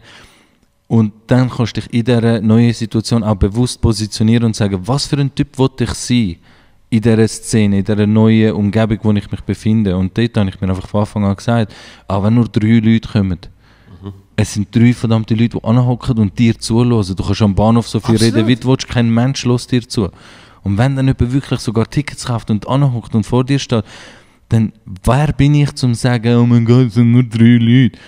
Ja, yeah, ja. Yeah. Und wenn ich dann das höre, weißt du, so eine Mixshow und dann hörst du der oder der kommt und sagt, ja, heute wird voll scheiße. Und dann sage ich, ja, für dich wird es voll beschissen wahrscheinlich gebe ihm recht. Aber für mich wird es cool, weil ich komme und schaue diesen Leuten in die Augen und sage, hey, wir sind da. Mhm. Alles andere ist scheißegal, ob jetzt hinter euch noch 50 andere Leute hocken oder nicht. Das ist jetzt der Moment und den genießen wir jetzt zusammen. Und ich biete genau das, was ihr auch bekommen würdet, wenn jetzt 100'000 Leute da wären. Weil das ist ja dann eben wieder das Ego-Zeug. Und das habe ich mir einfach bewusst klar gemacht. Und ich glaube, wenn du dir deine Rolle bewusst aussuchst, dann bist du viel halt, ähm, ja, so, so viel du hast dann so wie ähm, Guidelines, um, yeah. dich daran zu halten. Ja, und verli verlier das nie. Weil das ist, das ist wahrscheinlich genau der Grund, gewesen, warum es bei mir mal, es ist nicht lang, gewesen, es sind zwei Monate gewesen oder mhm. so, ja, aber wo es bei mir mal so ein kleines Zwischentief gegeben hat, mhm. weil man, man, ist ja meistens dann schon drin, wenn man wieder mal drumherum schaut. Oder? Mhm. Außer man hat sich das alles sehr bewusst mal gesagt. Und ich habe das sehr bewusst schon mit 16 gesagt. Ja. Aber weil so viel und immer nur in kleinen Schritten passiert, mhm. ist man dann auf einmal eben in so, in so, einem, in so einem ganz kleinen Rattenschwanz, wo man mhm. eben so findet, wieso sind jetzt nicht mehr Leute da mhm. als letztes Mal, wo ich hier gespielt habe? Das kann doch nicht sein, weißt? Da müsste doch jetzt mehr da sein. Ja. Und, und irgendwie, wenn das zwei, dreimal passiert, und dann hast du vielleicht noch einen Auftritt, wo ich gerade, einmal habe ich in, in Luzern gespielt und Marco Rima ist schauen. Die erste Hälfte ist tot gesehen, wirklich. Und ich habe so, ja. Und, und, und die zweite Hälfte ist dann eigentlich gar nicht so schlecht gesehen. Und, und Danny, mein Manager, hat dann gesagt, hey, look, ich sehe das Positive, du hast, jetzt, du hast sie noch gekriegt. Ja? Mhm. Vor einem Jahr noch nie oder vor Mhm. zwei oder was auch immer und so. Mhm. Oder? Und ich habe eigentlich gedacht, so, hey, nein, Marco Riemer sitzt da und ich kacke da so ab und bla bla bla. Oder? Und das lange dann so zwei, drei Sachen in so einem Monat und dann bist du auf einmal drin. Und irgendwann schaust du um und, und findest so, aha, aber warte mal, meine Idee ist ja eigentlich schon mal eine andere gesehen. Haben mir dann auch Leute gesagt. Mhm. gesagt also früher, vorhin hast du gesagt, eben, wenn nur 10 Leute kommen, bist du schon happy, weil sie wollen ja dich sehen und so. Ja. Aber, aber das Hirn ist so bescheuert, wie man sich, wie man sich so schnell an, an Sachen gewöhnt, wo man dann oft für normal nimmt, oder? Das stimmt, und das Umfeld ist ja auch so, so in diesem Modus. Aber und es dann ist überall so. Es ist so. mit über. Es ist so, kannst, frag mich nicht. Äh, jemand kriegt mal in einem Restaurant kriegen sie den Kaffee offeriert. Ja. Hä? Ja, Und wenn sie das nächste Mal gehen und sie den Kaffee nicht offeriert kriegen, sagen sie, logisch. hey, wieso habe ich das, wieso habe ich den nicht offeriert gekriegt, Ja, oder? ja. Und du gewöhnst dich so schnell an so Zeugs. Ja. Und, und dann musst du immer wieder so kurz, äh, eben, wie einen Schritt zurücknehmen und sagen, Ja. hey, also, Ja. Das ist eben das Bewusste, was ich meine. Wenn Mhm. du dir würdest sagen, was bin ich für ein Kaffeetrinker oder was bin ich für ein Mensch, wie gehe ich mit, mit äh, offerierten Getränken um? Macht Mhm. ja keiner sich den Gedanken und sagt so, okay, bei offerierten Getränken bin ich der Typ. Weil viele finden so, ich bin einfach mich selber, als würde es das geben. Weißt du, als gäbe es so eine, so, eine geschlossene, so, eine, so eine geschlossene Hülle von Attributen, die einfach an dir haftet und du bist einfach der Typ und bist so voll authentisch dabei. Du bist bei deiner Schwiegermutter anders als am Stammtisch, bei deiner Freundin anders als bei deiner Mädchen und weißt, überall ver verhaltest du dich anders. Je nachdem, wo du bist, bist du in irgendeiner Rolle. Und die sind zum Teil komplett anders. Weißt du, eben wie du gesagt hast, ja, nie du in dem Sinn. Es gibt so einen Kern, der dich ausmacht, wo eben viele halt so deterministisch irgendwie in der Vergangenheit Ja, ja. suchen. Aber irgendeinen Kern gibt es natürlich schon. Aber trotzdem sind deine Verhaltensweisen formen deinen Charakter. Bei einem Bewerbungsgespräch bist du anders als dort und dort. Und wenn du dann das mal so realisierst und sagst, okay, es gibt die tausend Facetten von mir, und überall entscheidet sich so spontan. Ich komme zu meinen Schwiegereltern und äh, nehme mich einfach ein bisschen zusammen und mal schauen, was passiert. Aber wenn du dir wirklich mal an, wenn anhocken wirst und sagst, hey, was für ein Comedian wollte ich sein, was für eine Art von, von Künstler oder was für eine Art von, von, von Mensch wollte ich jetzt in diesem Kreis sein und du dir von Anfang an sagst, hey, mir ist scheißegal, wie viele Leute sind, wie viele wie viel Zuschauer, wie, wie gut oder wie nicht und bla. Wenn du dir so Sachen, eben jetzt das Kaffeebeispiel, wenn du dir dort schon mal das vorgenommen hättest und sagst, hey, ich bin ein Mensch, ich gehe ins Kaffee, wenn ich den Kaffee zahlen muss, zahle ich ihn, wenn ich ihn offeriert bekomme, bedanke ich mich, aber ich erwarte nie, dass er immer offeriert wird, nur weil er einmal offeriert wurde. Wenn du dir die, äh, die Entscheidung mal bewusst machen würdest, wäre es vielleicht nicht so. ja. Aber wenn du dich einfach leiten lässt von den Umständen, dann ist natürlich das Gewohnheitstier, das entscheidet. genau. Und dann, dann verwandelst du dich einfach in den undankbaren Wichser, wo der Kaffee einfach jetzt offeriert haben will, nur weil er ihn einmal offeriert hat, bekommen hat. Absolut. Und das ist, bei mir ist das, eben, zu- zum letzten Mal, es ist eine kurze, eine kurze Phase gesehen. Und dann äh, die Realisation und si- sich dann, du hast auf das schon von Anfang an für dich so entschieden. Und ich habe das einfach mal gesagt, aber ich, ich bin halt irgendwann dem nicht mehr so bewusst gesehen. Und ich habe dann danach, habe ich vor 18 Leuten gespielt, einen Solo-Termin. Es sind zwar 30 Tickets verkauft gesehen, aber es ist später April gesehen. Es hat 26 Grad am 8. Uhr oben gehabt. Ähm, nein, du bist nicht dabei gewesen, es war der Nico gewesen. Und dann hat, und hat findest du so. Aber die 18 haben sich trotzdem entschieden, von der, ah, und es war noch ein Match gesehen. Äh, äh, an dem Ort mit dem Team irgendwie sogar äh, Europa League oder Champions League oder irgendwas. Europa League. Ähm, und, und dann findest du, aber, aber 18 Menschen sind trotzdem gekommen und hocken jetzt da in. Und das ist eine der geilsten Shows ever gesehen.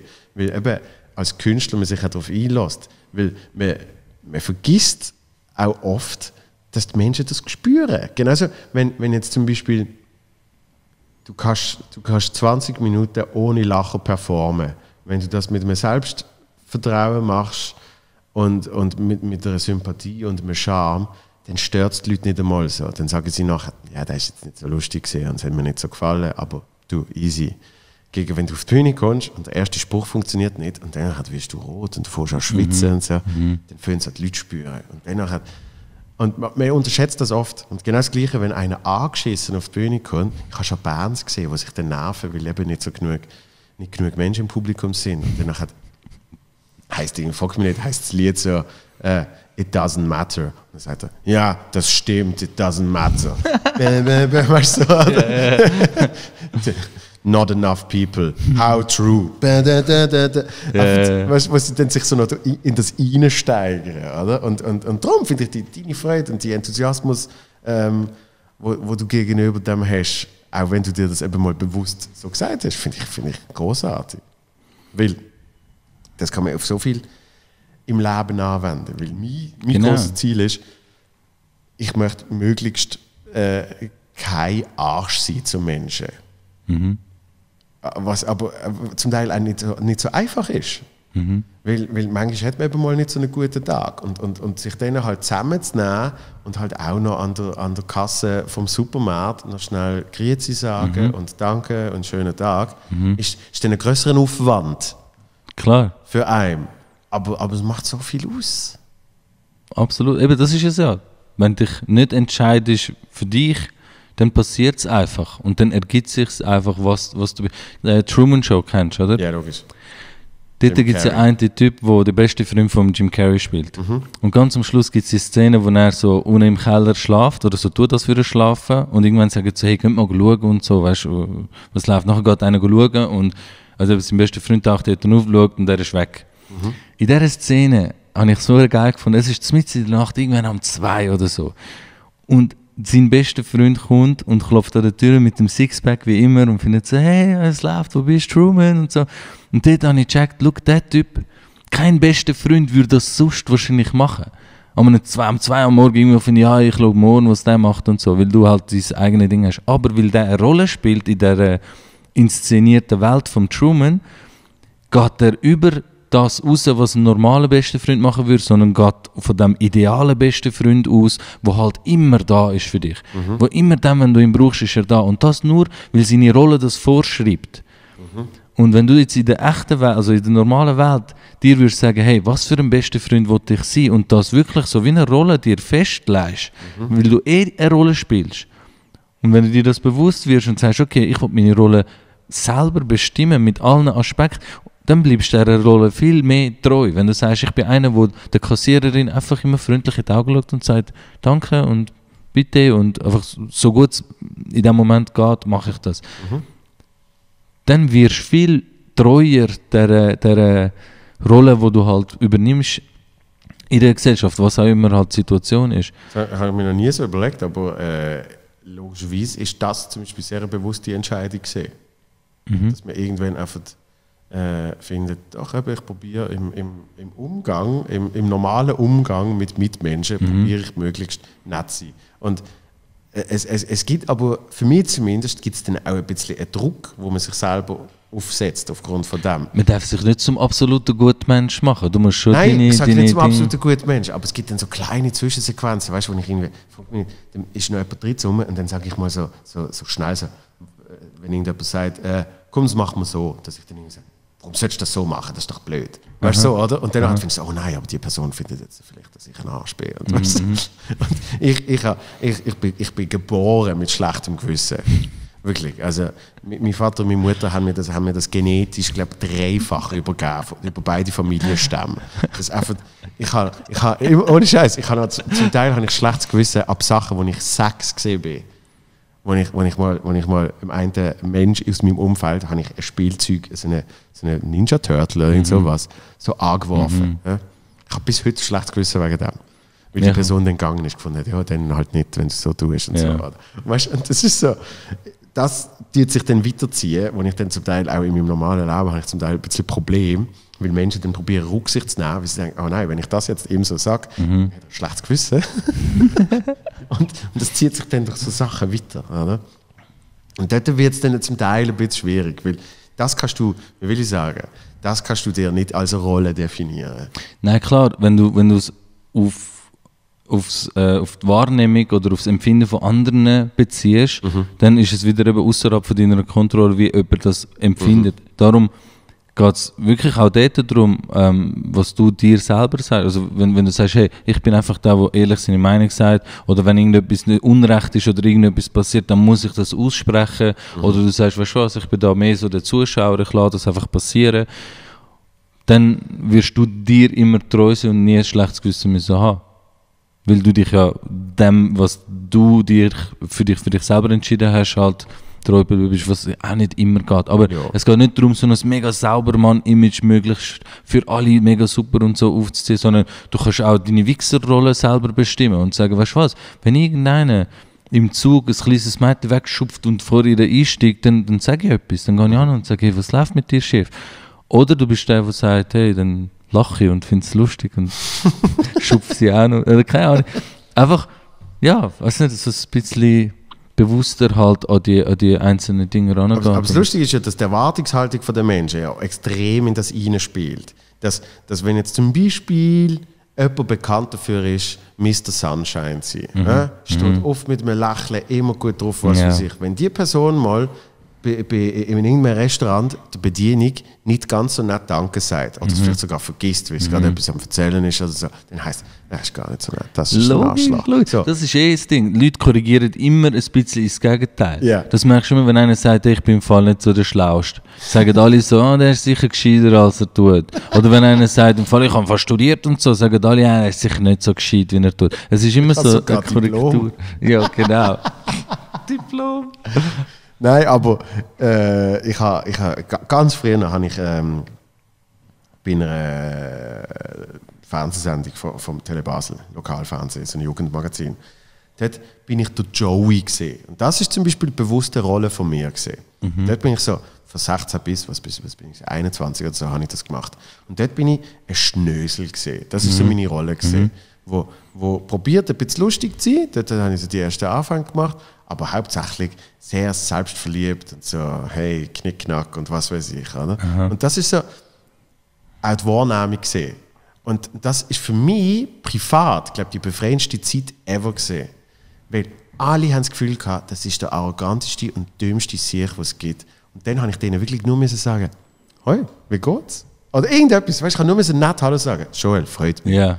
Und du hast immer gerade gemerkt, wie die ganze Energie shiftet. Yeah. Und die auf einmal so, ich glaube, der ist, der ist ganz mhm. okay. Mhm. Ah. Das ist einfach krass. Dann, dann öffnet sich auf einmal so ein, oh, der ist im Fall yeah. gar nicht so yeah. ein Wichser, wie man denkt. Genau. Und, das und, ist und, jetzt, und jetzt habe ich eher das Gegenteil. Jetzt höre ich zum Teil so äh, irgendwelche erfundenen Geschichten von, ja, dann hast du mal das und das und dann bist du dort, dann bist du ein Arsch gesehen. Was? Und wahrscheinlich weißt, nicht einmal überhaupt, überhaupt nicht bewusst, sondern ich, ich habe zum Teil schon äh, Menschen drei, vier Mal nach dem Namen gefragt oder mich auch schon zweimal vorgestellt und so. Mhm. Das mache ich überhaupt nicht aus einer bösen Absicht. Mhm. Hingegen, wenn du aus einer bösen Absicht extra Arsch bist und ja. dann nett bist, ja. heißt es, ja, das ist schon. Ja, logisch vergisst du immer meinen Namen. Aber eigentlich ist schon mega nett. Das stimmt. Darum eigentlich äh, mit, mit jeder neue äh, Bekanntschaft, die du machst, je positiver und netter und lieber du bist, desto höher ist das Risiko, dass das mega ins, ins Gegenteil kippen kann, wenn du einmal nicht, nicht mehr ähm, dem treu bist, wie, also dem Bild treu bist, wie, wie man dich wahrnimmt. Mhm. Dann hast du einen Knacks drin, wo es irgendwie nicht ganz so nett war, in irgendeiner feinen Nuance und, und auf einmal ist wie ein Kartenhaus, das zusammenbricht. Und wenn du voll der Arsch bist, dann heißt es so, hey, der ist einfach gar nicht so ein schlechter Typ. Und es macht so das Bild von, oh, der ist einfach ein mega krasser Sich. Äh, eine von, also meine beste Kollegin ist mal zu mir gekommen, also wir sind zum Reden und sie so, hey, ich habe so eine, so eine Doku gesehen Fall über den Cristiano Ronaldo und der ist einfach gar nicht so ein schlechter Mensch.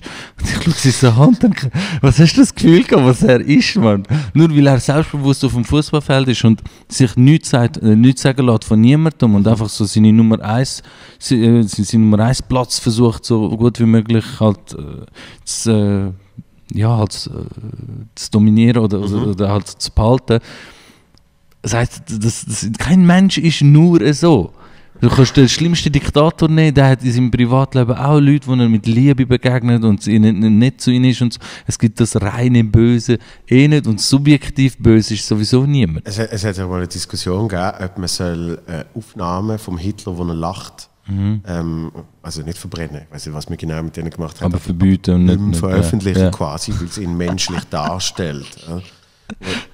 Er ist der kontroverseste Typ, was es überhaupt gibt. Wir in der Geschichts-, Im Geschichtsunterricht habe ich immer so den Unterton vom, vom Lehrer gespürt, wenn es um den Zweiten Weltkrieg und Hitler und so gegangen ist, von wegen, ja, er ist, also weißt du, für den, der Goebbels ist ja sein Marketing, also sein, sein Propagandatyp gewesen und der hat das für ihn gemacht der hat das für ihn gemacht, der ist aber gar nicht so, so, so weißt der ist ja gar nicht. Aber gleichzeitig ihm die ganze Schuld geben für alles Negative, was passiert. So entweder der Typ ist der Mastermind vom ganzen Shit und hat wirklich alles zu verantworten Aber dann ist er auch auf eine Art genial. Also so seinen Plan hat er mega krass können umsetzen von Zero to Ja, ist sicher sehr viel. Also weißt du, so, er hat es einfach mit einer mega krassen Effizienz können umsetzen. Und dann hat er halt, dann musst du ihm das auch zusprechen, dass er irgendeine Fähigkeit hat, ob es jetzt nur seine Rhetorik ist oder was auch immer. Oder er ist ein Vollidiot, der einfach die Marionette war von anderen Leuten, aber dann kannst du ihm auch nicht die Schuld geben von dem, was die Fädenzieher mit ihm gemacht haben. Das ist so, das ist so das. Du, du kannst nicht jemandem komplett ein, ein so, einen, so eine Schablone geben oder so eine, so eine, so eine Schublade geben und finden, alles ist jetzt nur dort drin. Es ist, es sind immer es ist ein riesiges Spektrum. Man. Es ist niemand ist, ist ja, niemand ist nur etwas. Nein, logisch. Logisch nicht. Das ist dann immer wieder lustig, wenn du hörst, wie... Aber, aber es, es, es, es vereinfacht für den Mensch natürlich extrem viel. Natürlich. Schubladendenken ist, Ja. ist das Bequemste, was du mach- machen kannst. Du ziehst eine Grenze und sagst, alle da einen sind Arschlöcher, alle da einen sind gut. Und das wär's. Aber das ist ja der Trugschluss von allen Leuten, die eben in diesen, in diesen Schubladen oder politisch links-rechts denken. Stell dir mal vor, es gäbe nur noch SP.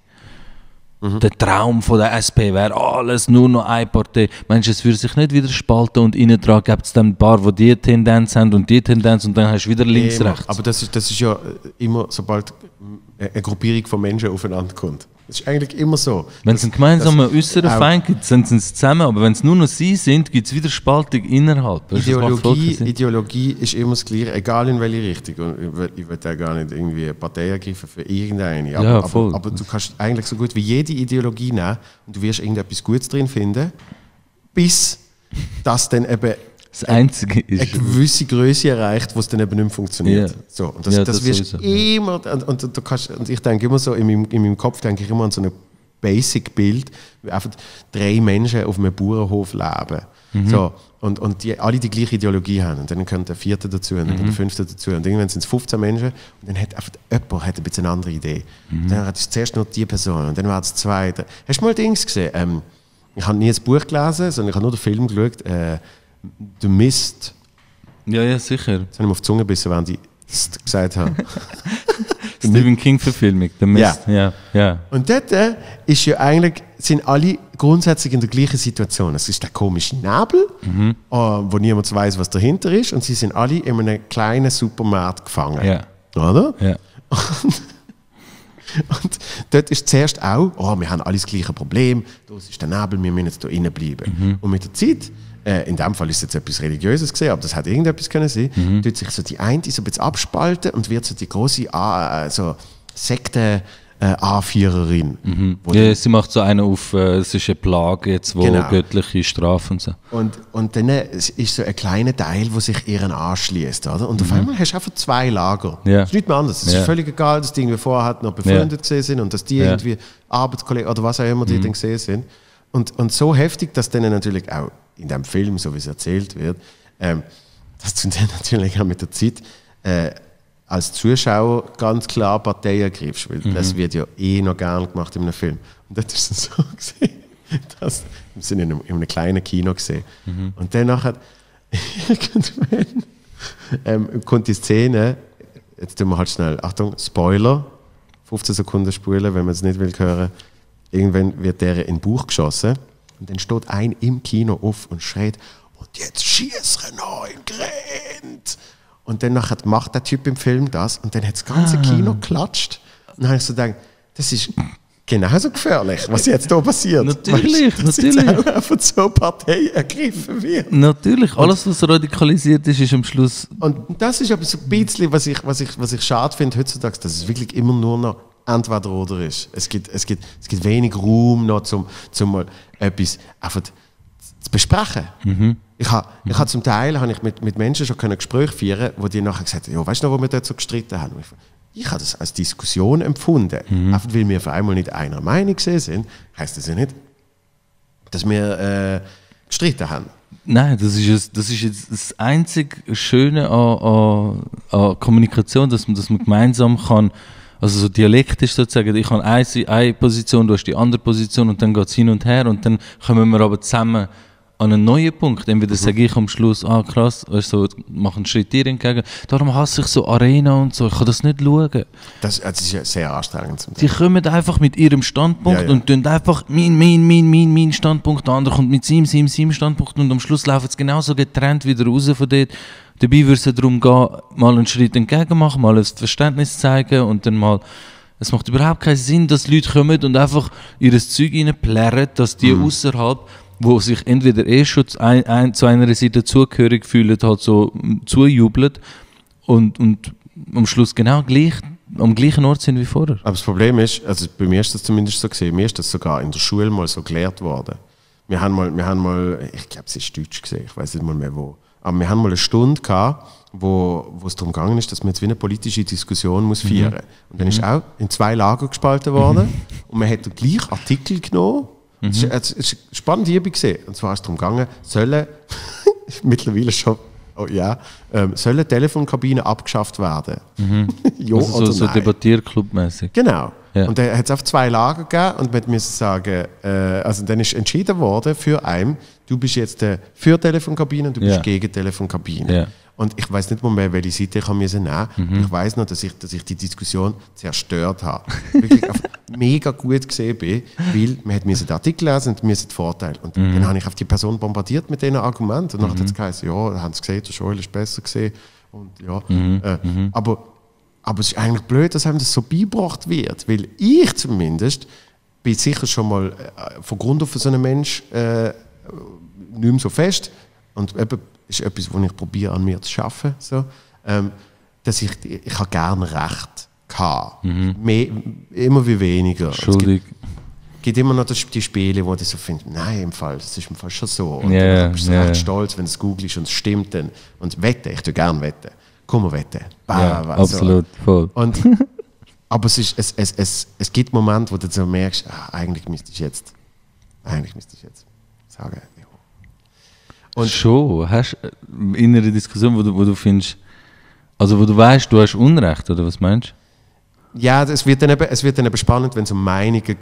Aha. Wo ich zumindest dort ich es mei- meistens jetzt ankriege, einfach mal sagen, ja, okay, mhm, ich sehe den Punkt oder ich verstand ihn sogar und man kann sogar einen Teil davon reinnehmen äh, in, in die eigene Argumentation. So, ja, doch, das macht Sinn. Oder von dieser Seite habe ich es noch nie angeschaut.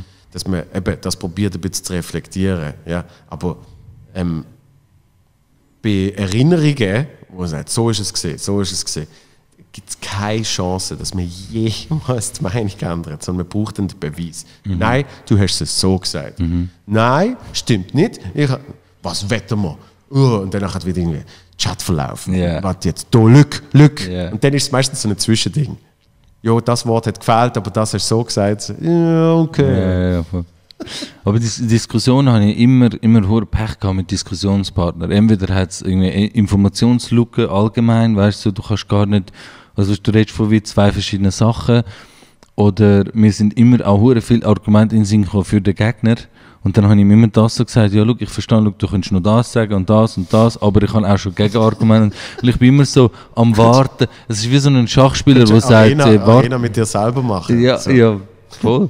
Aber das ist ja zum Beispiel eine Interviewtechnik, dass du äh, eine Frage stellst äh, und dir schon alle 37 Möglichkeiten ausdenkst, wo als Antwort könnten kommen, damit du dann auf das wieder kannst etc. etc. Aber in Diskussionen macht das, macht, macht das automatisch. ja, ja. Also wenn ich etwas, du wenn bist, ich etwas du bist einer von den frage, intelligenteren Menschen, die ich kenne. ja, das, das ist jetzt einfach etwas, wo ich vielleicht geübter drin bin oder so. Also ich will jetzt nicht auf die Intelligenz jetzt. Ja doch, weil Das es, braucht, es braucht ja ein gewisses Maß an Intelligenz, das im Moment überhaupt machen zu können. Ja, aber gleichzeitig vergiss- suche ich mein Handy die Heime, weiß nicht, wo es ist, laufe die ganze Zeit damit um, umeinander, finde es endlich und dann hocke ich wieder vor dem Fernseher und auf einmal ist die Fernbedienung weg. Und die liegt du dann im Kühlschrank oder so und das ist dann auch nicht mega intelligent. Also, Hast, du erst einmal in den Kühlschrank gelegt? ja, ohne Scheiß. Ich auch. Ohne Scheiß, die Fernbedienung habe ich Ja, schon mal im Kühlschrank. Handy. Ja, eben, hast du. das ist immer, weißt, an den Orten, wo du suchst, das, das ist schon ein bisschen, ist ein Indiz für deine Intelligenz, wenn du anfängst, an so komische Orte zu hast du suchen. das Gefühl, dass das mit Intelligenz zu tun hat? Nein, aber das ist genauso wenig mit, wie, wie irgendein Argumentationsgedanke. Äh, also, ist, also weißt ja, Intelligenz, da, da bin ich ein bisschen heikel bei diesem Thema. Ich höre das so oft und ich, das Dumme daran ist, wenn du es anfängst zu relativieren und erklären und Ja. intelligent sozusagen das argumentierst, was Aber Intelligenz... weißt, ich sag's ja, es ist ja nicht, dass du es sagst. Ja, Das aber ich, wenn ich das annehme, ist es schon, schon vorbei. Weil Das ist wie am Philipp Lahm, wie der WM 2006 oder so in Deutschland. Haben sie ein Eröffnungsspiel gegen Costa Rica. Philipp Lahm, linker Verteidiger, Mhm. spielt bei Bayern rechts, aber er hat dort links gespielt und es war mega ungewöhnlich und so. Hat er Goal geschossen? Genau, links außen ist reingezogen, ein riesen Goal hat er geschossen. Was für ein, ein richtiger Schlanzer, das weiß ich noch ganz Genau. Interview, sie fragen dann, sie sagen ihm so, hey, weißt du, wegen dem Alter, das er damals gehabt hat, gesagt, hey, ähm, du hast mega jung das WM-Goal geschossen und so und das ist äh, vergleichbar mit dem äh, Maradona, der hat damals das auch und so bla gemacht. Was ist die Antwort von einem Philipp Lahm? Einer, der keinen linken Fuß hat und, und, und überhaupt null vergleichbar ist mit dem verdammten Maradona. Ja, ist natürlich schon eine grosse Ehre, der Vergleich und so. Und da fühle ich mich, ich fresse, Mann. Du musst dort sagen und sagen, sind ihr alle voll, weißt du, so, irgendwie, ich kann nicht behindert sagen, das ist immer so das Ding. Aber ich meine es wirklich so, also sind ihr alle voll behindert, dass ihr mich jetzt mit einem Maradona vergleicht, nur weil ich ein Goal geschossen habe und ein bisschen im ähnlichen Alter bin. Das sind so Sachen. Wenn du mich als intelligent bezeichnest, ich nehme das einfach so an, Ja, aber ich, Ich kann immer Ich kann ja nicht, ich kann ja nicht vergleichen. Ich habe nicht gesagt, ich habe nicht gesagt du bist der, nein, aber ich weiß, Albert, Albert Cenkstein. ich bin ein Halbidiot, ohne Scheiß. Ich bin, ich bin wirklich, wirklich, ich bin, da, da fühle ich mich genau äh, richtig be beschrieben mit dem alten Programm. Ja, aber, aber weißt, ich, ich, ich, habe ich habe das Gefühl, Intelligenz ist etwas, das heißt nicht, dass man die voll ausschöpft, sondern das ist halt zu einem gewissen Maß äh, kann das gern sein, dass man dann halt eben in einer Diskussion schon sich wie ein Schachspieler alle möglichen Antworten überlegt und was weiß ich. Und, und dann gibt es andere, ähm, das Potenzial von der Intelligenz nicht ausschöpfen. Und ich finde, es ist, es ist natürlich eine sehr pauschale Behauptung, wenn ich sage, du bist intelligent. Ja, und ich bin auch mega schlecht allgemein im Kompliment an. Ich muss immer relativieren und immer finden, aber nein, ja, ist schon easy und so.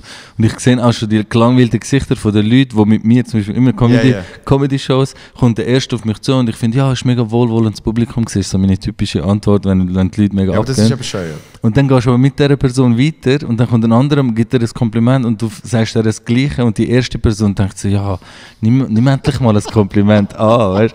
Und ich, ich, ich spüre das, aber ich kann dann nicht einfach sagen, ja, ich bin voll abgegangen, das ist über... Ich kann das Nein, nicht. Muss, muss, man, muss man ja nicht. Man muss ja nicht sagen, ja, ich bin voll abgegangen.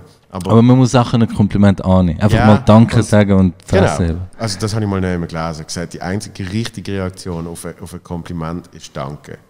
Aber was ist, wenn es etwas ist, was völlig überheblich, übertrieben, also... Es so komisch, sich für... Dann ist eben, dann ist eben wenn man es relativiert, dann kann man durch das äh, arroganter wirken. Das stimmt eben. Du Und wenn machst dir keinen Gefallen damit. Und wenn du sagst, Intelligenz ist eben so etwas und so und so Genau. und so, und nachher machst du dich wie so noch gescheiter, während du. Ja, keine Ahnung. Ich das manchmal ein bisschen relativieren und sage, finde ich jetzt nicht, aber danke. Weißt du, und Ja. dann lässt man es Ja. einfach so stehen. Weißt du, was ist die beste ähm, Definition von Intelligenz, die ich je gehört habe?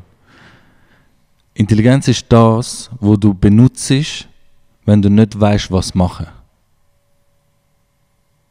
Muss ich Kurz sacken. Aber das ist, das ist im Fall Für so etwas bin ich zu wenig intelligent. Nein, aber wenn, wenn du, wenn du, wenn dir jemand etwas beigebracht hat oder wenn du etwas gelernt hast und du es kannst einfach abspulen, weißt du, so, wenn, wenn du zum Beispiel ähm, in der Natur raus, wenn du wenn du ein Pfadfinder bist und eine krasse Ausbildung Pfadfindermäßig hast und dann auf einer einsamen Insel weißt, wie man Feuer macht, ist das nicht intelligent. Es ist intelligent gewesen, das zu lernen vielleicht, aber das dort so zu machen. Aber wenn du ohne Wissen, wie man Feuer macht, ein Holz nimmst und ein anderes Holz und überlegst, okay, wenn das trocken ist, reibig und das könnte Feuer geben und so zu Feuer kommst, das ist eigentlich intelligent. Und das andere ist einfach auswendig gelernter Scheiß. Vor allem, wenn es nur mit Reden ist, dann bin ich sowieso allergisch drauf. Leute, die gescheites Zeug erzählen, werden als intelligent bezeichnet. Dabei könnte ich irgendein ein Diktiergerät nehmen und mein gesamtes Wissen dort rein brabbeln und Aber das, mer aber das merkt man doch. Man merkt ja dann irgendwann, wenn äh, Menschen ähm, zwar intelligent schwätzen, aber dann eben nicht können interagieren. Unter Umständen merkt man das. Aber es wird sofort damit assoziiert, dass wenn jemand ein bisschen etwas erzählt, dass es gerade so ist dabei, könntest du eben etwas aufnehmen und das Diktiergerät sagt jetzt Ja, genau ja. das Gleiche, was du gesagt hast. Es macht es ja nicht intelligent wegen dem. Ich bin, ich bin mega happy gewesen, als ich den Begriff emotionale Intelligenz Ja. kennengelernt habe. Weil dort, dort würde ich mich äh, rein tun. Wenn mir das jemand sagt, dann sage ich nicht, Mhm. ja, hm, bin mir nicht sicher und so weiter und so fort. Ich empfinde mich nicht als wahnsinnig intelligent, ne, aber emotional intelligent und das ist eigentlich auch noch ein bisschen so ein eher äh, äh, äh, ein Gespür Ja, für ja, Menschen so und Situationen. Empathie, Genau. Sozialkompetenz und so, Ja. ja voll. Dort, dort habe ich das Gefühl, ja, Mhm. dort, dort bin ich wahrscheinlich äh, an einem anderen Punkt als andere Menschen wieder. So. Ich bin ein Zeit besessen von so IQ-Tests. Ich habe jeden Scheiß machen, sogar 300 Schutz mal gezahlt für so einen Test, einfach zum schauen, was, was, was hast du für ein passiert. Ergebnis gehabt? Ich glaube, das Beste ist irgendwie 121 oder so gewesen. Das Höchste, was ich Das ist je mal so hoch. Das ist nicht. Das ist schon überdurchschnittlich. Aber es ist, es ist, es ist Weißt das ist 20% höher als der Durchschnitt, würde ich ja, sagen. ja. Und dann habe ich mal die Formel von dem irgendwann gesehen und es ist völlig, völlig absurd. Du hast einfach so eine Punktzahl, wo in dem, in, de- im, je nach deinem Alter müsstest ungefähr erreichen Ja. und dann zählst du das irgendwie durch 0 mal bla und äh, durch 100 mal irgendetwas. Dann hast du einfach so eine Prozentzahl eigentlich, äh, wo abweicht von dem 100 wäre genau deinem Alter, äh, Alter entsprechend ja. und drüber bist halt so wie weiter als, als So wie Gleichaltrige. eine BMI. Ja, genau das. Das sagt nichts über deine Fitness aus, was, was für ein BMI du hast. Du kannst ein mega Kastenschwinger sein und hast ein BMI von 150 oder so. Nein, aber das ist. Und, und vor allem der Test, wenn du, wenn du viel so Tests machst, wirst du gut in dem. Ich habe logisch. angefangen, die, Hure, die, die, die Würfel da Eben, zu checken und, und gemerkt, Ja. ah, okay, das wird fü- weiterführend und bla. Und habe recht so ein komplexere Dinge angefangen zu lösen von denen. Und bin ich jetzt gescheiter geworden wegen dem? Weißt du, ich meine? Jetzt habe ich Ja. von, von 80 auf 120 mich aufgearbeitet und was ist jetzt? Bin ich jetzt richtig Einstein am, am mich entwickeln? Voll nicht. Mhm. Dann habe ich das ganz gelernt. Eben all das ganze Intelligenzthema ist völlig Ja. schwach. Aber, aber ich finde es etwas anderes, wenn jetzt, wenn jetzt bei einem Auftritt jemand, jemand findet, äh, du bist gut gesehen. Dann, dann sollte es ja schon plus minus das ist mehr deckungs- Bescheidenheit. Das Eben, ist das Dann Problem. sollte es schon plus ja. minus deckungsgleich sein. Weil ich finde, Ja, ja. man- genauso wie man, wie man zum Beispiel sich entscheidet, kein, frag mich nicht, es gibt so Menschen, die sagen, ich, ich lese keine Kommentare online. Ja. Okay. Du hast so äh, auf meinen sozialen Medien und so. Ah, ja, ja. Und, und denen verstand ich es auch, weil dann darfst du eigentlich ni- nichts Negatives annehmen, aber dann darfst du eigentlich auch nichts Positives Mhm. Ja, annehmen, ja. sozusagen. Und, und beim Auftreten ist es genau das Gleiche. Wenn du, wenn du äh, äh, ich sage jetzt, ein guter Komiker bist, oder zumindest die richtige Denkweise hast, um ein Mhm. guter Komiker zu sein, ja, dann machst du einen Auftritt von dir abhängig. Und sagst, ähm, wenn ich nicht gut bin, was habe ich falsch gemacht, wo kann ich mich verbessern. Mhm. Dann kannst du aber nicht, wenn du gut gesehen bist, aufs Publikum abwälzen. Nein, nein, nein, logisch nicht. Ich finde, das ist auch ein Werk, das beurteilt wird. Mhm. Und, und bei, einem, bei einem erschaffenen Werk, ob es jetzt äh, also weißt, etwas, etwas Gestalterisches ist oder ob du etwas performst, dann kann man das schon auch besser beurteilen. Dann, dann gibt es gewisse Faktoren oder gewisse ähm, Parameter, wo halt, äh, an denen man das misst. Und dann kannst du auch sagen, es ist ein guter Auftritt, es ist ein schlechter Auftritt und auch du spürst das. Aber bei eben Personen, die als gesamthaft irgendwie so bezeichnet werden, das ist dann, das ist dann so ein bisschen. Das ist, glaube äh, das sind so zwei, zwei Sachen. Das eine, da bin ich voll allergisch drauf, wenn man so jemand ganzheitlich versucht, irgendwo intelligent oder irgendwie Ja. sonst etwas zu finden. Also und bei den Auftritten. Entschuldige ich mich, dass ich die Nein, intelligent nein, nein, klinge. eben, eben, das ist eben, das ist dann fast, das ist dann Arroganz von, von dem, was es nicht annimmt und das ist auch Darum habe ich scheiße. eben mal gelesen, dass Danke bei Kompliment das einzig Richtige ist, was man kann machen kann. Wenn es halbwegs äh, nachvollziehbares Kompliment ist. Klar, logischerweise, eben, wenn man nicht der Meinung ist. Ja, wenn jetzt dir einer sagt, hey, du hast schon Modelkörper oder so, wenn mir das jetzt einer würde sagen, würde ich sagen, ja eh, Mann. Schau bei Model. Logisch. Bei Ah, ja. so. Ja. Kommt auch darauf an, vielleicht habe ich, vielleicht habe ich Model-Hand. Plus Size, ja. voll. Ja, genau. Ähm, ich habe gemerkt, dass wir schon über eineinhalb Stunden schwätzen. ja. Und äh, ich, ich weiß nicht, wie viele Menschen das jetzt äh, spannend gefunden haben.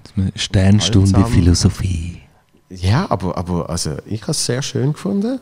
Und wir müssen es äh, bald wiederholen, damit wir auch noch äh, etwas Lustiges erzählt haben. Ja, voll. Aber, aber äh, für, für das Thema vom Podcast ist das jetzt wahrscheinlich, ist das jetzt wahrscheinlich so etwas vom Diebsten, wo man kann gehen kann. Dass man wirklich eben das viel gut äh, mal seziert hat. Und gerade bei dir ist das eben ein spannendes Thema aufgrund von, äh, wie du, wie du die Welt anschaust und wie du, wie du die in dieser Welt bewegst. Mhm. Weil, ich sage jetzt mal so, ich sage nicht, du bist intelligent, sondern ich sage, du hast dir zwei, drei Gedanken mehr gemacht als andere Menschen zu dem Thema. Danke. Yes! Das ist meine Hoffnung gesehen, dass du jetzt da gesagt einen besseren Abschluss gibt es nicht. Cenk, wir sehen uns in zwei Stunden, wenn wir wieder auftreten. Wir sind Ja. jetzt zusammen auf Tour. Äh, Ja. Kommt mal. Feel Good Comedian ist bis Ende März 20 unterwegs. Der Cenk macht immer am Anfang, danach mache ich und es macht jetzt schon riesig Spaß. Danke, danke, danke. Hey, danke dir für alles, für die ganze Unterstützung, für das, Boom. für das mich mitnimmst, für das, dass mich so förderst. Das ist Mega wirklich, ähm, du bist mein Held. Ich wollte schon, wollte schon wollen sagen, zu Recht, dass ich dich fördere, aber ich bin nicht die Held zu Recht. Doch, unschätzt. Danke. Danke.